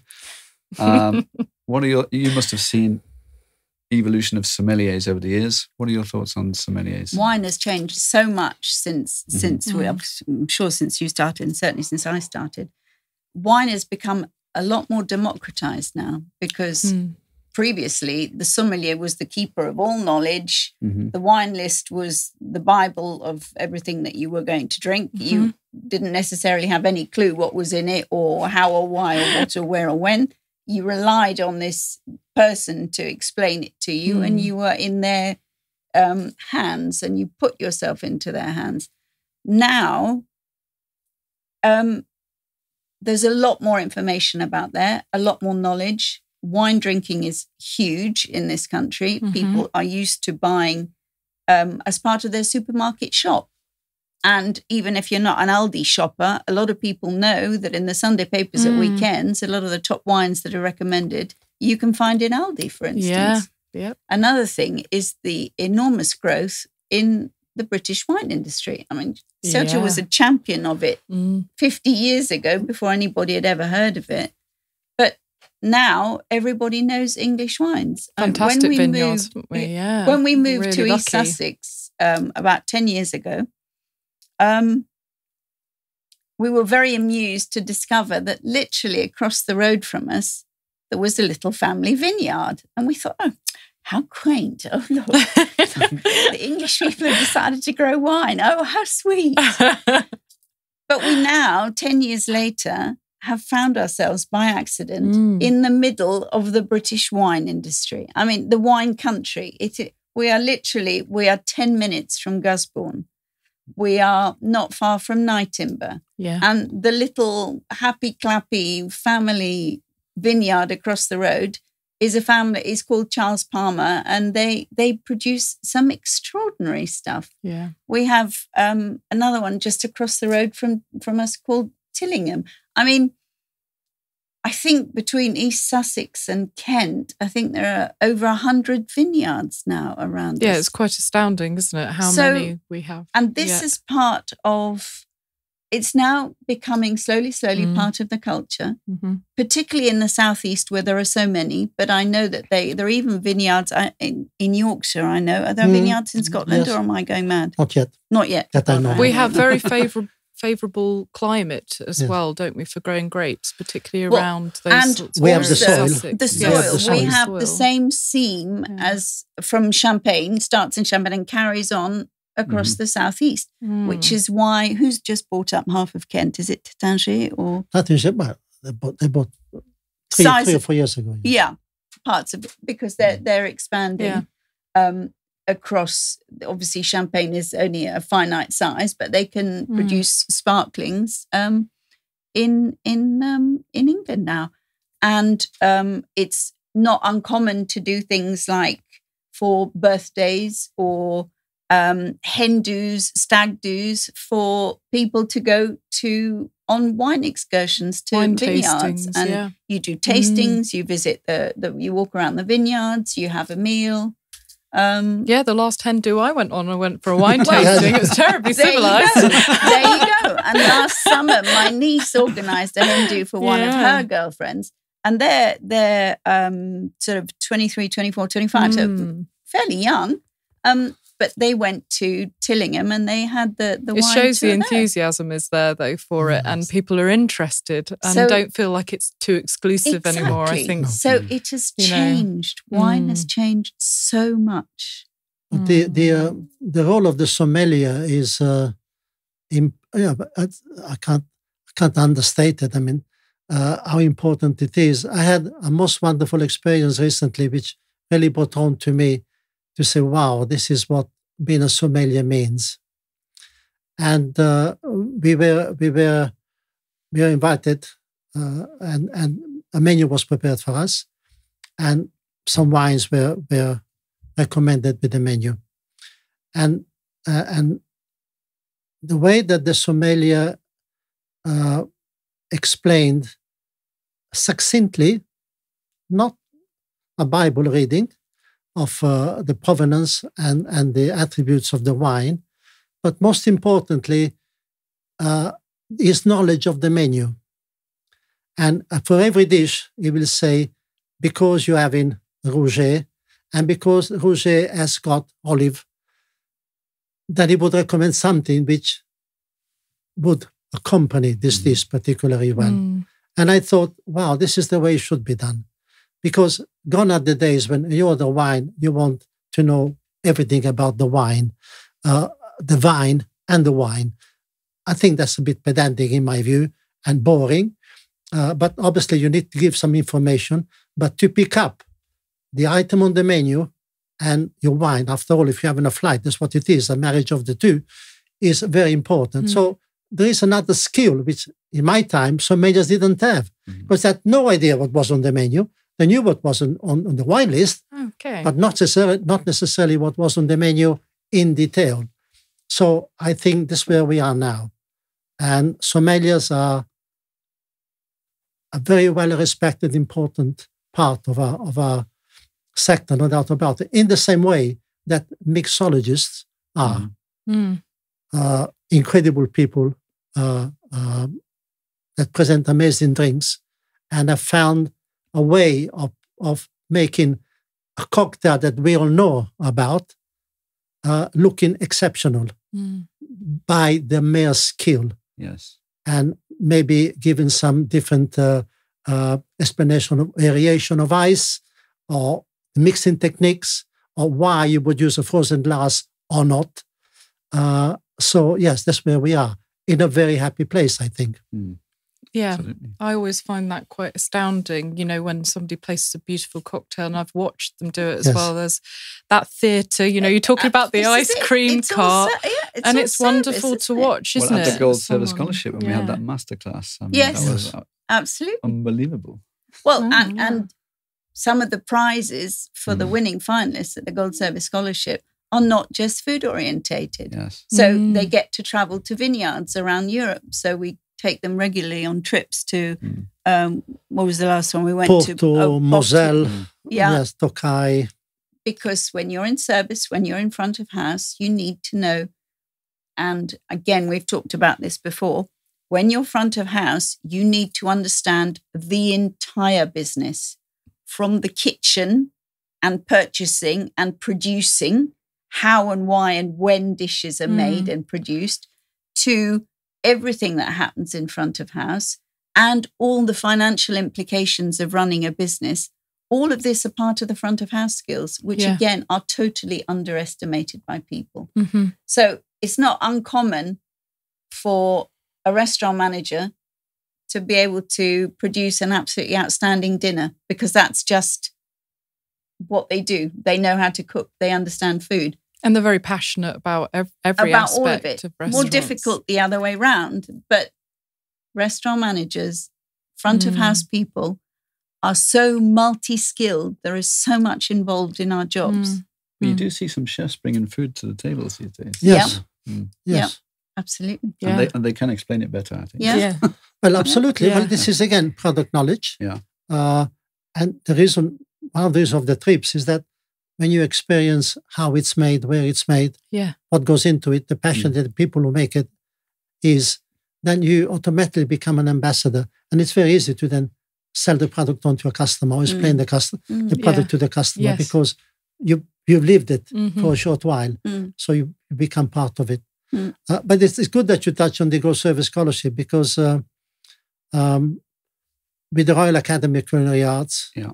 uh, being running an an annual awards of excellence, which is an entry level for uh, young professional in our sector, uh, and they get tested um, on on fairly basic but laid down traditional skills, and and they get to meet other people. Uh, they establish a network, Mhm. uh, which is very important because their careers will mingle and entwine in the future. Mm. They get to know all the judges, and we're fortunate that the judges are the top people in our in our in our industry again. Seen here. Seen here one. um, Aspirational. I um, did, my first year was very good. Yes, very good, excellent. Uh, and then uh, there is a natural progression of the journey that you would take the take part in the Gold Service Scholarship, where it's a little bit more uh, complicated, maybe not so technical, but certainly emphasizes more on the social skills on your presentation. Uh, uh, and then after you've had 10 years in management, you can then take part of the Master of Culinary Arts. Mhm. But it all begins, and going back to my memories, it all begins with uh, the Adopt a School. I don't know whether you're familiar with Adopt a School, but Adopt a School is uh, um, something that the Royal Academy uh, Culinary Arts runs, and it is uh, uh, targeted the children at primary school. So where a school, uh, all, all academician will uh, adopt a school and they will carry out lessons in these schools. Mhm. Uh, lesson is the wrong word. I think a demonstration, uh, an highlight of what service is and what kitchen is. So the chef will go into the school with a tray of different items in color and taste. They will give the children a chef set with their name on top, and they will explain what the flavors are and ask them to try it. And children love this and they Mm. go home with their hats, tell their parents uh, the experience they've had. In the service side, side, we because we can't really demonstrate uh, what we do is not really tangible. So what we do is we uh, touch on the etiquette of service. Mhm. So we will have a couple of tables set up on stage at the Mhm. school, and we'll invite uh, a boy and a girl to come over. We will say that when you go to a table, you pull the chair out for the girl. The girl sits, then you sit yourself. When the menu is given, it's given to the girl first, then to yourself. Then you make a decision how it happens, how you communicate what you both of you like, and then you order.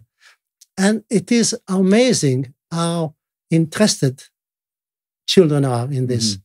Um, I want, and government doesn't really invest enough in our industry. Mhm. I, I don't want to get political. Let's not go into Oh, that. I But- can if you like. Yes. but uh, you know, it is it is a fact. It is a fact that and uh, people have to be in tune, and we have to create these memories from an early age Yes. because these memories stay with us, and Mhm. eventually in your life, you they, they they come real again. And in my uh, if you if you look at me, and I told you about John Charles, and I never got to Leeds to see him. But when I was um, at Grosvenor House and I was then director for the beverage and banqueting, we had a function one evening, and uh, I wasn't I wasn't there that evening. But the following morning, when I went over for breakfast for the breakfast service, that's to chat with the HODs to see how it was going, somebody said, uh, uh, Salvatore, Oh yeah. said to me, um, Mr. Rebecchi, you'll be interested to know that John Charles is coming in for breakfast this morning. Wow. So you can well imagine how I felt. and you can also About well 10 imagine years old all of a sudden Yeah. again. Yeah. Yeah. can imagine how um, um, how the circle had sort of come round, you know, but Mhm. that Mm. my memory uh, and it was this profession that that provided me with this full circle of meeting John Charles. And one thing that perhaps we're not very good at, at putting out there is that all my training in the industry, I got paid for it. Mhm. I was being taught things. I've been taught a profession. I was uh, advancing in my career and I was getting paid for it. Mhm. Now, many other professions that Mm. have perhaps more highlight with families, people want to be doctor, dentist, whatever they have to be, they normally have to pay until Mm. they're 26, 27, 28. At the end of it, they're left with a big uh, sum of money they have to pay back at some absolutely. stage. Mm. In our industry, it's all given to us. Mhm. Yes. And pretty much you can come off the street into our Yes. industry. Going back to John Charles, I went to say hello. He was there with his daughter. We had the photograph taken together. Nice. And I mean, Oh. you know, this is what our industry, what hospitality provides for us. Yeah. One of the many, many things that it provides. Many great memories. Mm. Yes. I mean, we Yeah. don't. I, we spend our lives now trying to communicate what an extraordinary career hospitality Mm. is can be for people. Well, yeah, I mean that. Um, we should move on to the point of what your role is in the industry today. Yes. Okay, Yeah. so what Sandra and I have now worked together for over 30 years. And everybody knows that basically we're the twofer of hospitality. So you get one, the other one comes free. Yeah. you get two for the price of one. And um, as Sergio mentioned, he runs the um, the annual awards of excellence for the Royal Academy of Culinary Arts, the Gold Service Scholarship, and the Master of Culinary Arts. So I help Sergio to do that. I assist him in doing that as much as possible to make those the three top front of house competitions in the country. Mhm. And one of the reasons that we feel that the competitions are so important, apart from, as Sergio said, the networking, the, the learning the skills and all of that, Mm. because you have to practice a lot of skills to enter the competitions that maybe you don't get to do in your everyday life. But also, I think when you start at the age of 22 and you enter the annual awards of excellence, maybe for the first time in your life, maybe you started in catering there are many reasons why you might start in catering, but very often people sort of end up in catering because. And I think that when you enter your first competition, is maybe the first time in your career that you realize, first of all, it is a career and not just a job, and Yep. it is a profession. Because you know what? I can be tested and judged and I can learn. And oh my gosh, I thought I knew, but in fact, there is so much more to learn. Mhm. And all of these people are in front of me and expect stuff from me that I don't know if I know yet. And I think that's one of the first penny drop moments that people realize that they have landed in a skilled profession rather than just a job. Mhm. And that's one of the Mm. reasons why the competitions are so expensive. Are so expensive. they're not expensive, they're free. Um, are so No, it's important. put it up. expensive Yeah. in time yes, Yes. yes. To organize and to deliver. Yeah, very but important. why they're so yeah. important to people's careers. So that's very much what we do. Um, focus on doing that. But basically, short version is we encourage, we mentor, and support young people into hospitality. Mm. And that obviously has a very long version as well. The long version is the competitions that we Mhm. run. Um, we never uh, tell anyone how to run their business specifically, unless asked, and a couple of people ask us, and we do advise them. But what we do do is we go up and down the country and we do um, we uh, encourage youngsters and we um, uh, give them sort of not TED talks, but you know, Yeah. explain to them a bit more about hospitality and where their futures could take them. Whet their and, appetites. so voila, to and the career path Yeah. that they could be on.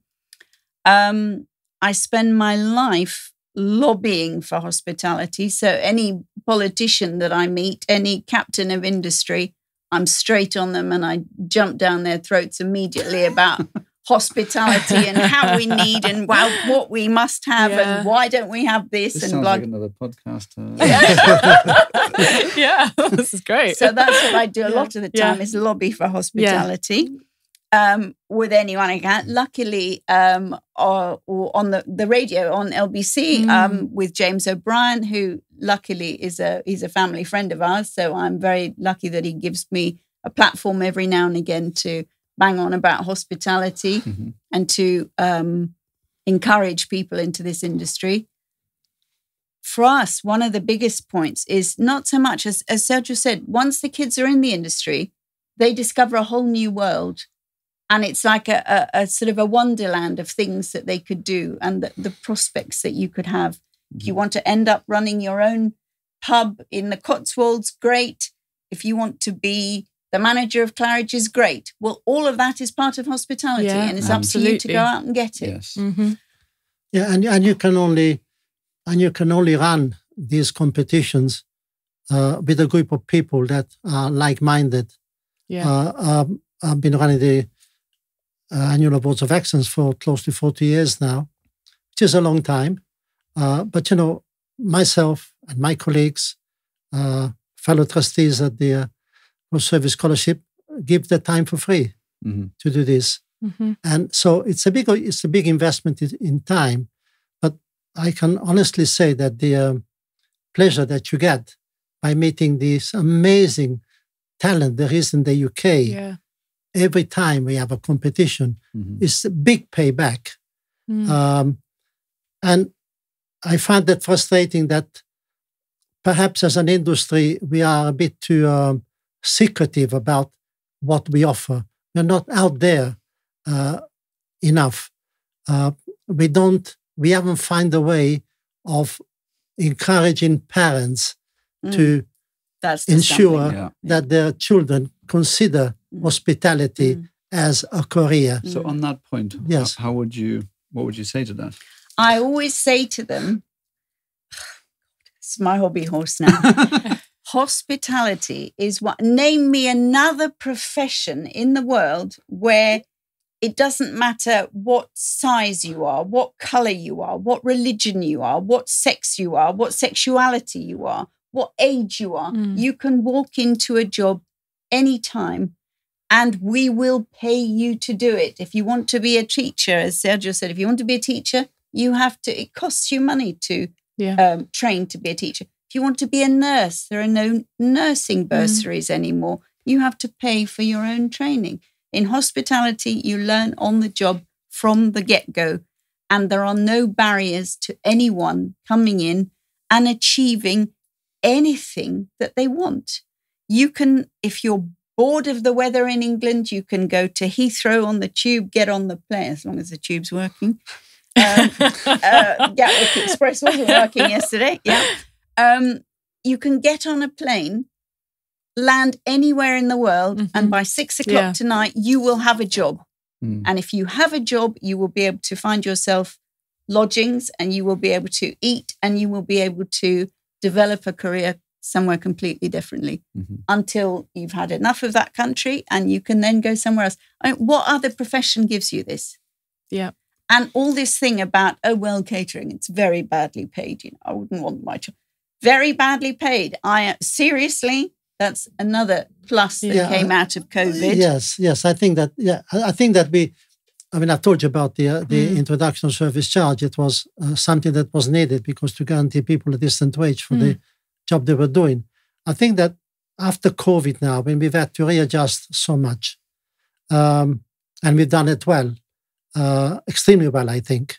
Uh, and I appreciate there's been a selection, perhaps, since some places have uh, gone by the wayside, which is sad. However, uh, I think that the next step, in order to uh, make sure that this profession is appreciated, and I'm really targeting parents at this, our people in hospitality are by and large well paid, hmm really well paid Mhm. compared to other professions. Uh, and people who get to the top of our profession are extremely well paid, and they they uh, match salaries of uh, surgeons, doctors, or whatever.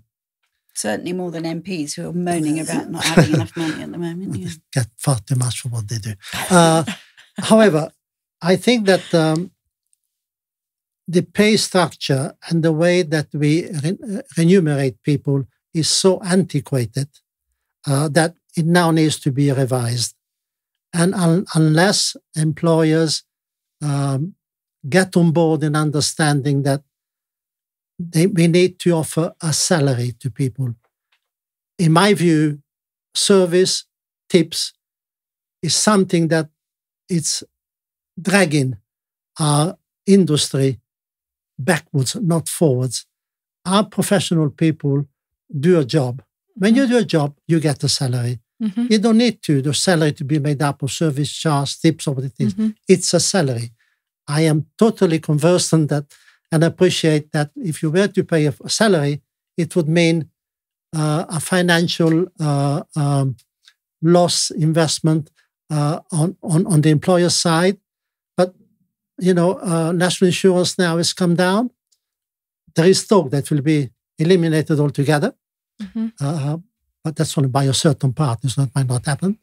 But I think it's principle that when you have a child who wants to join hospitality, or maybe you might want him to join hospitality or her, that you say, fine, you start off as a commis waiter, and your starting wage will be thirty thousand pounds. hmm I'm only quoting figures. I know that some places in London pay more. Uh, and when you then you become a, a, a waiter. I wish we could find another name for waiter because it really irks me when I say waiter, because it has such wrong connotation. I don't know why. Don't ask me why, but it does in my mind. But a waiter, chef de rang, then gets forty-five thousand pounds. You become a head waiter, you get 50, 60,000 pounds, 75,000 pounds hmm sommelier, barman. Now, we all know these wages within the industry, but I challenge you if you ask a parent anywhere in the UK and you say, please give me a scale of payment in hospitality, Mm. what do you think uh, a commis waiter earns? A waiter, head waiter, sommelier, barman. I don't think they will ever have a clue No, I'd, yeah, Mm. probably So- agree. Yeah. our profession, any profession, needs to be remunerated accordingly. hmm Uh, and I think that is an easy win, but it takes a bit of courage with somebody to say, I'm going to be the first person that I'm going to eliminate service charge. I don't want to have about word tips. hmm My people will learn so much, and that's how I do it. Everybody will follow. hmm I just need that person. So that's my crusade. Yeah. Well, we We- were in a we were in a ta- sorry to interrupt. We were in a taxi the other day, and a black cab. And when we got out, he wouldn't take a tip. He said, "Well, I, you've paid the fare. Mm. That was the fare. The fare's the fare. I don't need a tip for doing my job." And we thought, "Oh yes, abs-" and this is the way we see things going." And as Sergio said, all the employers out there are going to be thinking, oh my God, I can't believe they've just said that. Don't they know what they're doing to my business? But we have been in your shoes. So when we say it, it is a considered statement. It's not just an airy fairy wish. We'll continue this conversation Yeah. Okay. Absolutely. so yeah. Can- moving on. Yeah. Um, Okay, so we're working for you. Mm-mm. Um, David three and I. non-negotiables. yeah, three non-negotiables. that we Your top yeah. three. Well, sort of good negoti- non-negotiables or bad ones. I mean, good Well, what- ones. Good ones is easy because it, good ones is um, my father's mantra was always consistency, consistency, consistency. So there's three Wow. words might be the Okay. same word. Yeah, yeah, so yeah. that's a, a strong. That's a plus. Yeah. But from the negative side, non-negotiables, i.e., things that I wouldn't put up with. Mhm. Um, I wouldn't put up with apathy. I find infuriating. Mm. If you don't want to be here, go somewhere else. I'm sorry. Yeah. So apathy, selfishness, and dishonesty. Yeah. Yeah. And by selfishness, I mean it's not about you. The minute you set foot through the door, you are part Yeah. of a team. And again, if you don't want to be a team player, go and be on your own somewhere else. So Mhm. those would be my three negative Mm, I like- I like non-negotiables. Yeah, I love doing this part of the podcast because you know we we've done a few, haven't we? And they're always different. Yeah. And I just nod and I go, "Yes, that is essential." so I don't know how many non-negotiables I have now, but Well, you know, when, when, loads. when I, when I did mine, the list was too long. I couldn't. Was it too long? Yeah, no, Yeah. that's good. Well, I mean, yeah. there are a lot of not non-negotiable. Definitely, I think that Mm, um, rudeness yeah. Mhm. is not something we can be tolerated. You know, um, uh, I think that uh, um, not being caring, I Mm, can't tolerate that. I can excuse uh, lack of knowledge Mhm. as long as it is the person is warm, wanted to help, is pleasant, Yes. is smiling, is uh, uh, gives love. That's fine. I, I can excuse anything, but rudeness and and uh, um, not recognizing the value of customers, I think to me is just totally. I can't. I just Mhm. because they pay our wages. mhm. Uh, we are not uh, uh, imposed to work anywhere. We can walk out anytime we want. So uh, I think if we are there, we're there. And I, I- going Yeah. back to going on stage, Yes. you know, when you go to a theater, you want you expect that the, the actors The on stage production, yeah. and the production to to give you what you paid Mm. for and to to leave you with memories. Mm, And if you can't provide those, you know, you're wasting your time, big time. mm. And us. The customer is not the enemy by any means. It's you know the they No, are what we're all Well, there the for, way aren't we? money as a Yeah, business. we're, we're, you know, and but also you know that's tree. why you do Yeah. service, isn't it? That you want Yes. to you know please others and make their time a good one. Your while- salary while doesn't with come for your employer. Mhm. Yes, it does, Absolutely. but indirectly, you know, it's the customer who pays for your salary. So we must never Mm. forget that when we're there. But Mhm. pedantic and basics, however. No, I, I'm I'm just going back to what you said um, about always saying yes, and I I remembered um, when I first started at the Square, and David and I had newly started working together, and I'd just put down the phone, and I think I'd uh, we hadn't had space to fit someone in or something, and he he said and he said to me, um, "Why did you say no?" He said, "It should always be yes," and I just went. Of course, it should be. You and know, then you find a Yeah. solution later. and then you find a solution later, Yes. and it was like actually like completely, uh, yeah, something else to And think about, wasn't it? the It was skill of the receptionist. That's another one of my missions know. to bring back the receptionist yeah, because the receptionist is such an important. Well, it's very part true. When I first started Mm. as manager, I was very young at Chez Bruce, and I was appointed as manager, but I had no clue how to do reception, and you had to learn on the job. yeah, Um, and I've realised over the years that it is probably one of the most important aspects. Um, Well, it's the first point of contact that the Yes. customer has with the restaurant. Not Mm. press one, press two, press three, or Mm. ticking times and dates on a on a a, a res- resi reservation or you know on yeah. your phone or whatever. The first person that you come in contact with is the person who answers the Mhm. phone, Mhm. and that person will then become should become an important part of your experience every time.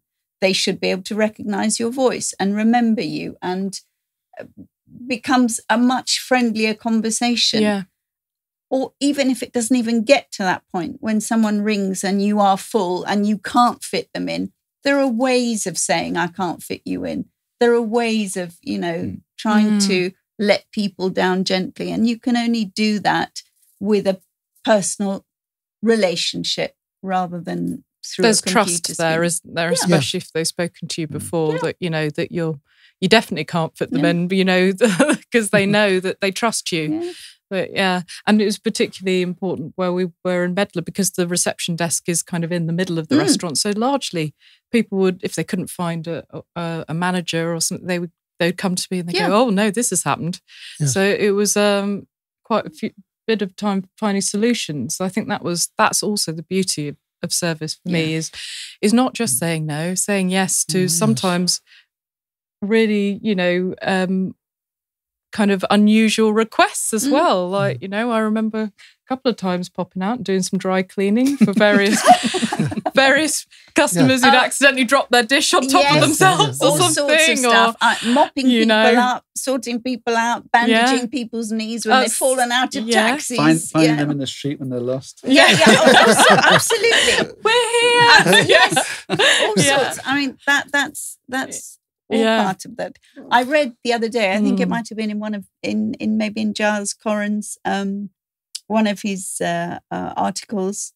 Uh, and Giles is another one who who grew up within our restaurants because his parents used to come to the restaurant, and Mhm. then they came so often they Yeah. became friends with my parents, and then they bought a house in the south of France near my parents, so they would see each other out of. So Giles grew up through that, Mhm. and he said to me, in fact, quite recently, um, that uh, hearing all these stories about magical restaurants and gastronomy and all that is one of the things that pushed him into the line of work that he's in now. Mhm. Anyway, so I read in his one of his review recently of the Dover that one of the most exciting things is that they have an old-fashioned hard copy book that they write everybody's reservation down in and they have Wow. a list and we used to have for years we had lists every year you get your new reservations diary so it was like a a sort of a Mm. history of your restaurant Yeah. a potted Yeah. history of your restaurant in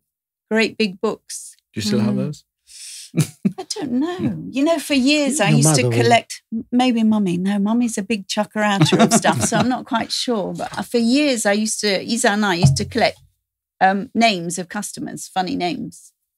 We used to write them down on a piece of paper and collect those. I don't. Right. Uh, yes. So, um, is there anything that you'd like to ask us? Well, we'd very much like to know about your new restaurant because there's nothing more exciting than opening a new restaurant. yeah, absolutely. There's no one listening, is there? No. just between these four walls and the four of us because personally i find opening a new restaurant Yeah. fantastically interesting i mean everything from i think we've discussed this from before everything from um, extraction and plumbing and electricity to Mm. what color grout is going to be in the kitchen or, or wherever i mean i just to me that's just Yeah, come on, give us a sneak preview. Come well, um, we've had Medlar for 13 years and we've just Mm. signed a lease on a new restaurant in Belgravia in Eccleston Yards. Mhm. Um, Grosvenor Estates Mhm. is the landlord. Um, it's a shell unit, a rooftop space with a roof terrace. And we're currently getting it ready to be a fantastic addition to the London restaurant scene. lovely are we are we going similar style or are you doing something i mean culinary style is it going to be Uh, it's uh, it will be different to Medlar. We Mhm. have uh, we're keeping the team at Medlar, and we're creating a whole new team and different chef involved. And I think it will be a high end restaurant. okay fantastic Induction kitchen. Induction kitchen, yes. Uh, that was part of the uh, lease. Actually, we couldn't have gas in there, so yeah, fantastic mhm. I'm excited. I bet. Oh, and hungry. yes. at the moment it's all, Yeah. Yeah, but this is like um, uh, these are s- very exciting times because all your dreams, all your expectations are yes. there, and just Well, my vision, my vision of the restaurants is there, but at the moment it's all about trying to get it done on budget and Yes. and getting everything aligned and the builders and Mm. All this kind of stress which at the is moment. which is very difficult and very stressful. It is, yes. So uh, once we get open, I think then it's about getting the you know the go the vision of the restaurant in, into reality. Mm, Mm. fantastic. Lovely. Mm. Shall we finish, David, with the uh, Yeah, some quick fire questions. the quick fire? ready, Okay. steady, go. Okay. I'm not sure I can be quick. As you found out, I can talk for England, so I don't know if I do. to be quick, fair, but- every time we've done this, it's not been very quick because we go off on tangents, All don't right, we? okay, we go, oh try yeah, quick. that's great. Yes. Sergio. Concentrate. Yeah. Yes. Best service ever received. Oh, easy. um, L'Enclume recently and the Ritz. The Ritz because it's very traditional hmm uh, and you can tell that uh, it's one word answer.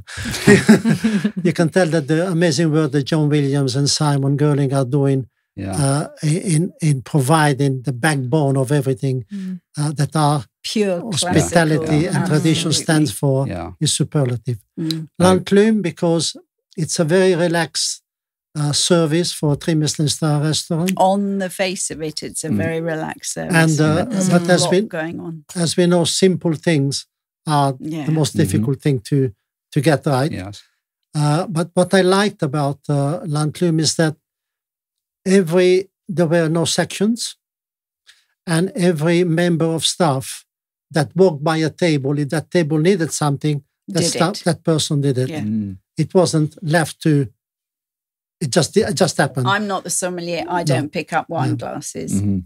Oh, yes, you do. If you see a wine glass that is empty, you remove it. And if it needs topping But- up, you top yeah. it up. but Yeah. it it was done with uh, with brio, with charm, Mhm. and it was like It was like watching a ballet, actually. Mm. it was it Mm. was wonderful, wonderful experience. Yes. Mm. That is not to say that there are so many other, you know, it's that question is a difficult question to, to, Sure. to answer. I'm sure there are many other uh, wonderful establishments who have exactly equally good service. Yes. However, one doesn't visit every establishment. Yeah, that, So that kind those are of the expe- that was very refreshing experience. for us, and that blew us Mm. away because we work a lot with the Ritz and we work a lot with um, Gleneagles, and those Mm. are the two, if you like, the the equivalents of.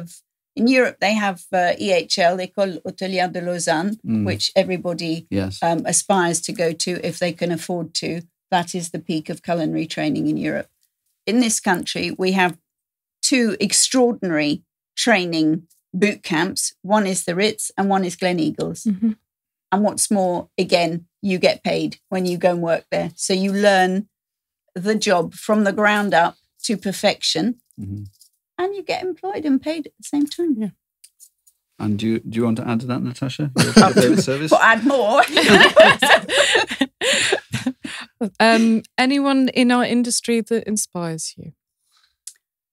um, oh, gosh, many people have inspired me over the years. Um, the three principal people I can think of are, are no longer around, but I have to mention Alan Crompton Batt because without Alan Crompton Batt, he is the person who started Restaurant PR. Mm-hmm. And without him, none of us would be where we are today. And the joy and the fun and the buzz of eating out and reading about new restaurants in every color supplement every Mhm. weekend, none of that would have happened without Alan Crompton Batt. And he was extraordinary. And another person who touched me very greatly was David Collins. Mhm. And as I said previously, uh, I'd studied art and design and then got sucked back into restaurants. And um, he designed two restaurants for us. And when he designed the first one, Incognito, working with David Collins was like, oh my God, it was just amazing. Uh, Being able to express my artistic side within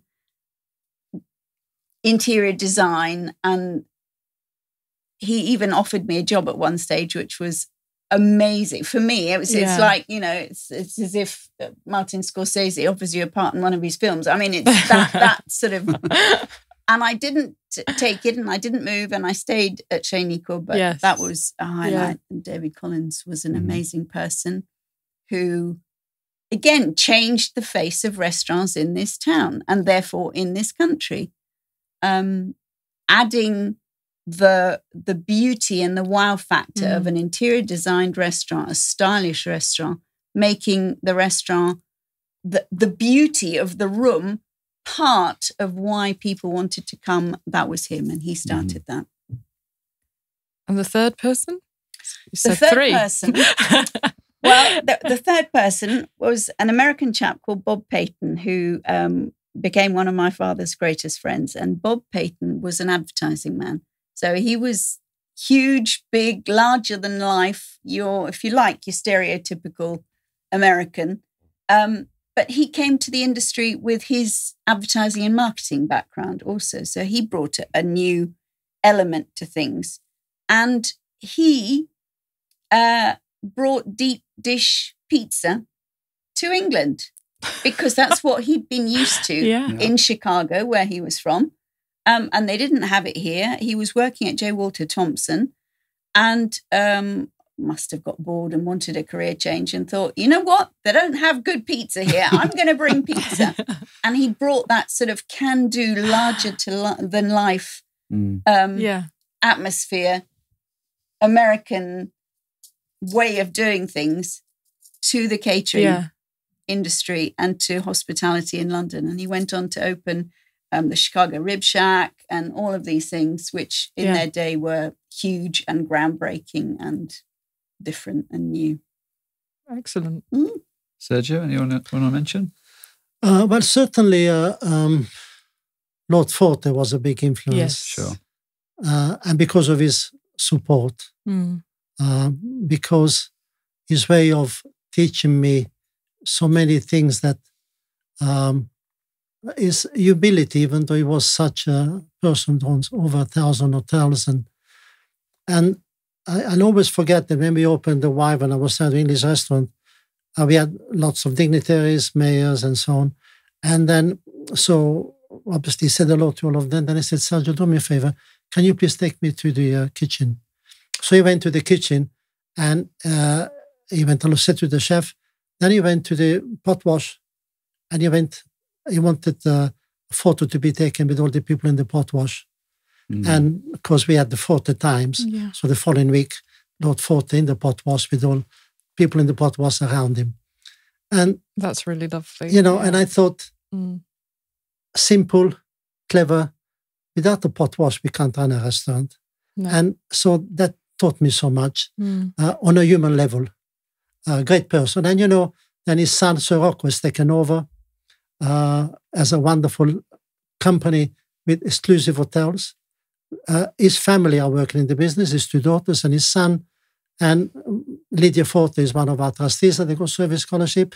So, again, the memo is created and the Mm. way that it's Yeah. progressed. And Charles Allen, Charles Allen is not uh, a figure in industry because he was Granada TV, uh, is now chairman of Global, multi radio station. But one thing I learned from Charles is that um, we had a chat once, and I, I we, we ran a, a- business center at Grosvenor House with 21 rooms. And he said to me, What is your room hire rate? So I told him. And he said, And is that, does it change? Is it this? No, it's the same, but we, we review it every six months or whatever. Mhm. Oh, he said, Well, you know, in television, we have prime time, Mm. medium time, low times. so okay, fine. Got the message. So yes, I mean th- these are lessons that you that you that you that you remember and that you maximize uh, what you do at certain times, and the other times when you can't and you have to do something else too. Uh, so that was a very quick, easy lesson. Mm. Um, yeah, so those are those are, we, talked a lot about things that we do, I did, or I still do, but it wouldn't be uh, the fellow trustees that I have, the people at the Academy of culinary arts, uh, that give their time free. I mean, they, they are inspirational. They are the people want you to do it because, again, it's a team. It's not just on your own. It's not a single crusade, uh, even though we all have single crusades, but together we just want the best for the industry and to really bring young people in. Mm. They inspire me, the young Yeah. people who enter our Yes. competitions. Yeah. Because you need you you really need courage, particularly at a young age, to enter a competition out of nowhere. And they give me so much hope because Ah. we're, we're, every year we are um, we meet about 200 new youngsters between both competitions and that whittles down to and particularly towards um, the semi-finals and the finals of the gold Mm. service scholarship and the winning finalists of the gold service scholarship you become very very close to these people and they give me hope and Mm. everybody moans about young people oh they don't do this they don't do that oh in my day we blah, blah, blah." that is so not true. Our industry Yeah. is in safe hands. They Yeah. are Absolutely. outstanding, exceptional young people who love what they do and will keep our industry going. I mean, a f- fellow trustee, uh, uh, Edward Griffiths, um, um, that you know he was a, with the royal household, Mm. and that has opened another area that we were not Mm. exposed to. Yes. Uh, and it was wonderful that one of the um, one of the um, footmen became scholar, uh, uh, and and and every year there were so many people partaking Mm. because they are uh, they are hospitality on the highest level. Yeah. Mhm. Yeah. Uh, you know, and to to look after the king, the queen, uh, uh, it's incredible. I certainly know how I felt when when the queen came to Ninety Park Mm. Lane, and she and she was a guest of somebody, Mhm. uh, and how wonderful it, it was to be able to look after her, uh, and and what an amazing person she is, and having had the pleasure of meeting her a couple of times, just uh, she she's an inspiration, no doubt about it. Mm. But that goes for so many people in this Mm. in the UK, Absolutely. not just me. Yeah. So, is there a book that inspires you? Oh, easy for me. Go ahead then. My Gastronomy by Nico Ladenis. Chapter one, in particular, of that book, I challenge you to find a more beautiful opening chapter to Mm. any book. It's In on my shelf. We literature. can get it later. Lovely. Yes, absolutely. There is no better opening chapter to any book in Yeah. literature in the English language. Uh, I I um I, I concur, and I I, I not, not because of the relationship, but Mm. uh, Nico is an amazing man. Uh, he he had a gift, hmm a gift of smell and taste that God gave gave him. He Mm. didn't he didn't learn it from anywhere else, and it was just unique. I uh, I saw a medieval book called Intranciante, uh, which taught about uh, teaches about carving of all sort of birds and animals Mhm. in, in the Middle Ages, which I thought was fascinating. Uh, and I also liked uh, what Anthony Bourdain Yeah. uh, in America did uh, in in bringing uh, our industry into a novel sort of situation Mhm. Yeah. where it uh, gave you an insight of what happens, good and bad. but uh, uh, but it, it, it was it's another way of communicating, isn't Sure. it? And Yes. letting people know what our industry is like. Uh, favorite wine. Favorite one. Favorite wine or Again, cock- I will easy. take cocktail I as well. Oh, good, Not- absolutely. Yes, because I have absolutely. taste when it comes to drinks. Anything sweet. Yes. So, uh, uh, sweet wine or demi-sec champagne would be my drink of choice, but a cocktail, if you're Mm. offering, would be exactly for me. yes. Well, I mean, what are we eating? Ah, right. Yes. you must have of something comes in course, your head yeah. straight away. What you? Yeah. you know. I I, I like Condrieu, Uh-huh. Mhm. um, um, but you know, really, it's it really depends on, on the mood. Mm. Because Condrieu doesn't f- suit every mood. Mhm. Definitely doesn't suit every food I eat. Uh, so it depends on the mood. But I'm I'm a lover of wines. Okay. Uh, I'm not a big lover of champagne, I have to say. I find it totally overrated. And sometimes it's, I think it's actually just fizzy battery acid, but that's me. And everybody was, oh, yes, champagne. And I would really be interested to know how many people actually really like champagne. But I, anyway. I really love Yeah, champagne. okay. Yeah, I was about to say. Yeah. I was about to qualify that. He also drinks battery acid. and I really like Laurent Perrier. Seems unlikely, Okay. doesn't it? so you know, okay. But I was about to say that we did in in um, in Great Portland Street. We did a dinner for Remy Krug yes. years ago, and I had the opportunity of tasting proper champagne. Mm. And I remember drinking a 61 Krug, which I will never be able to drink again. And it was dark yellow, almost brown, and almost flat, Mm. and tasted of sherry. Mm. And it was delicious, Mm. absolutely delicious. So within the battery acid range, there are I was about to say, yeah. So there is some champagne so that you'll there is accept. some that I will. You just have a- yes, absolutely. I Very will. high standards. Correct. Always Lovely. gold Okay. service has to be. Yes, absolutely. So best plate, best plate of food. Best plate of food, again, very simple. Anything that my dad cooked, Yeah. he had magic hands, a golden palate, which I'm very glad that I inherited his his palate. Um, so anything he made, outstanding, unbeatable, can never be reproduced. Again, it's an impossible question to Yeah. answer, but what, what comes to mind is uh, brouillade aux truffes at La Mm. Petite Maison in Nice. Oh yes, Wowzers. That was incredible. yeah, uh, your dad, uh, poulet au vin Absolutely jaune, lovely. yes, yeah.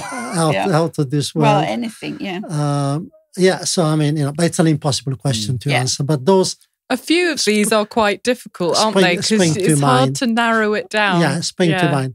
Because uh, I'm sure that when you reflect and you say, Oh, "Oh yeah. my God, I forgot that," Yeah. because that was a wonderful that's it. experience. Well, it's like Yeah. when they say, um, uh, your last meal, your execution what would that be? And you go, well, I think I'd have truffles. Oh, and.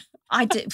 Can you really beat a crumpet with butter and marmite? I'm Yeah. not sure. Maybe Mine would not. be a very long menu. This is it. I just keep going. But you know, my my my aunt my aunt used to do a guinea fowl, Mm. a roasted guinea fowl with rosemary, quite plain. But she used to extract the flavors of this, and you know, these flavors are somewhere in the memory Mm. Oh, yeah. box there. Yeah, yeah. And Mm. when you sometimes you have guinea fowl or rabbit, and you say, "Oh my God," the, the memory box opens up. You say, "Yeah, you Oh, remember this? You had this before." Sergio makes It was- terrific. it- it- and it- yeah. and it was amazing. So yes, I mean it's impossible question to ask about many many things. Yeah. So my turn. Go on then. Oh, go on then. um, easy meal at home. Again, easy. If I'm at my Crum- mother's crumpets, home. Uh, open the crump, crump. Yeah, yeah, crumpet crump with with my- Marmite. Yeah, no. If I'm at my mother's home, Yes. open the fridge and just eat anything she's cooked. She is a Oh. fantastic cook. So anything my mum makes, Nice. Yeah. I'm there. Um, it has to be spaghetti aglio olio Ah, Mm. e peperoncino because uh, um, when you when you you want something that it's pleasing, it's quick, uh, wakes up all the flavors, and you knock it up in fifteen minutes Yeah. Mm. max, Job Yeah. done. and and it's fantastic. brilliant. Sergio, and Natasha, Yeah, it's been thank you so much. fascinating listening to this, Yeah. this morning. Been a pleasure talking to Yeah. you. Thank, you so So, much for so having much. us. Thanks for joining us. Oh. Well, it's been lovely to have you both as well, like our first double act. So it's been great. Thank you very much. Honestly, Not at it's um, Wonderful. really A I told you we were a twofer. I know. It's brilliant. Thank you. Pleasure. Yeah. Thank you. Thank you for listening to Drive for Service podcast. Follow us on Instagram at Medlar Chelsea and make sure that you like and subscribe for future episodes.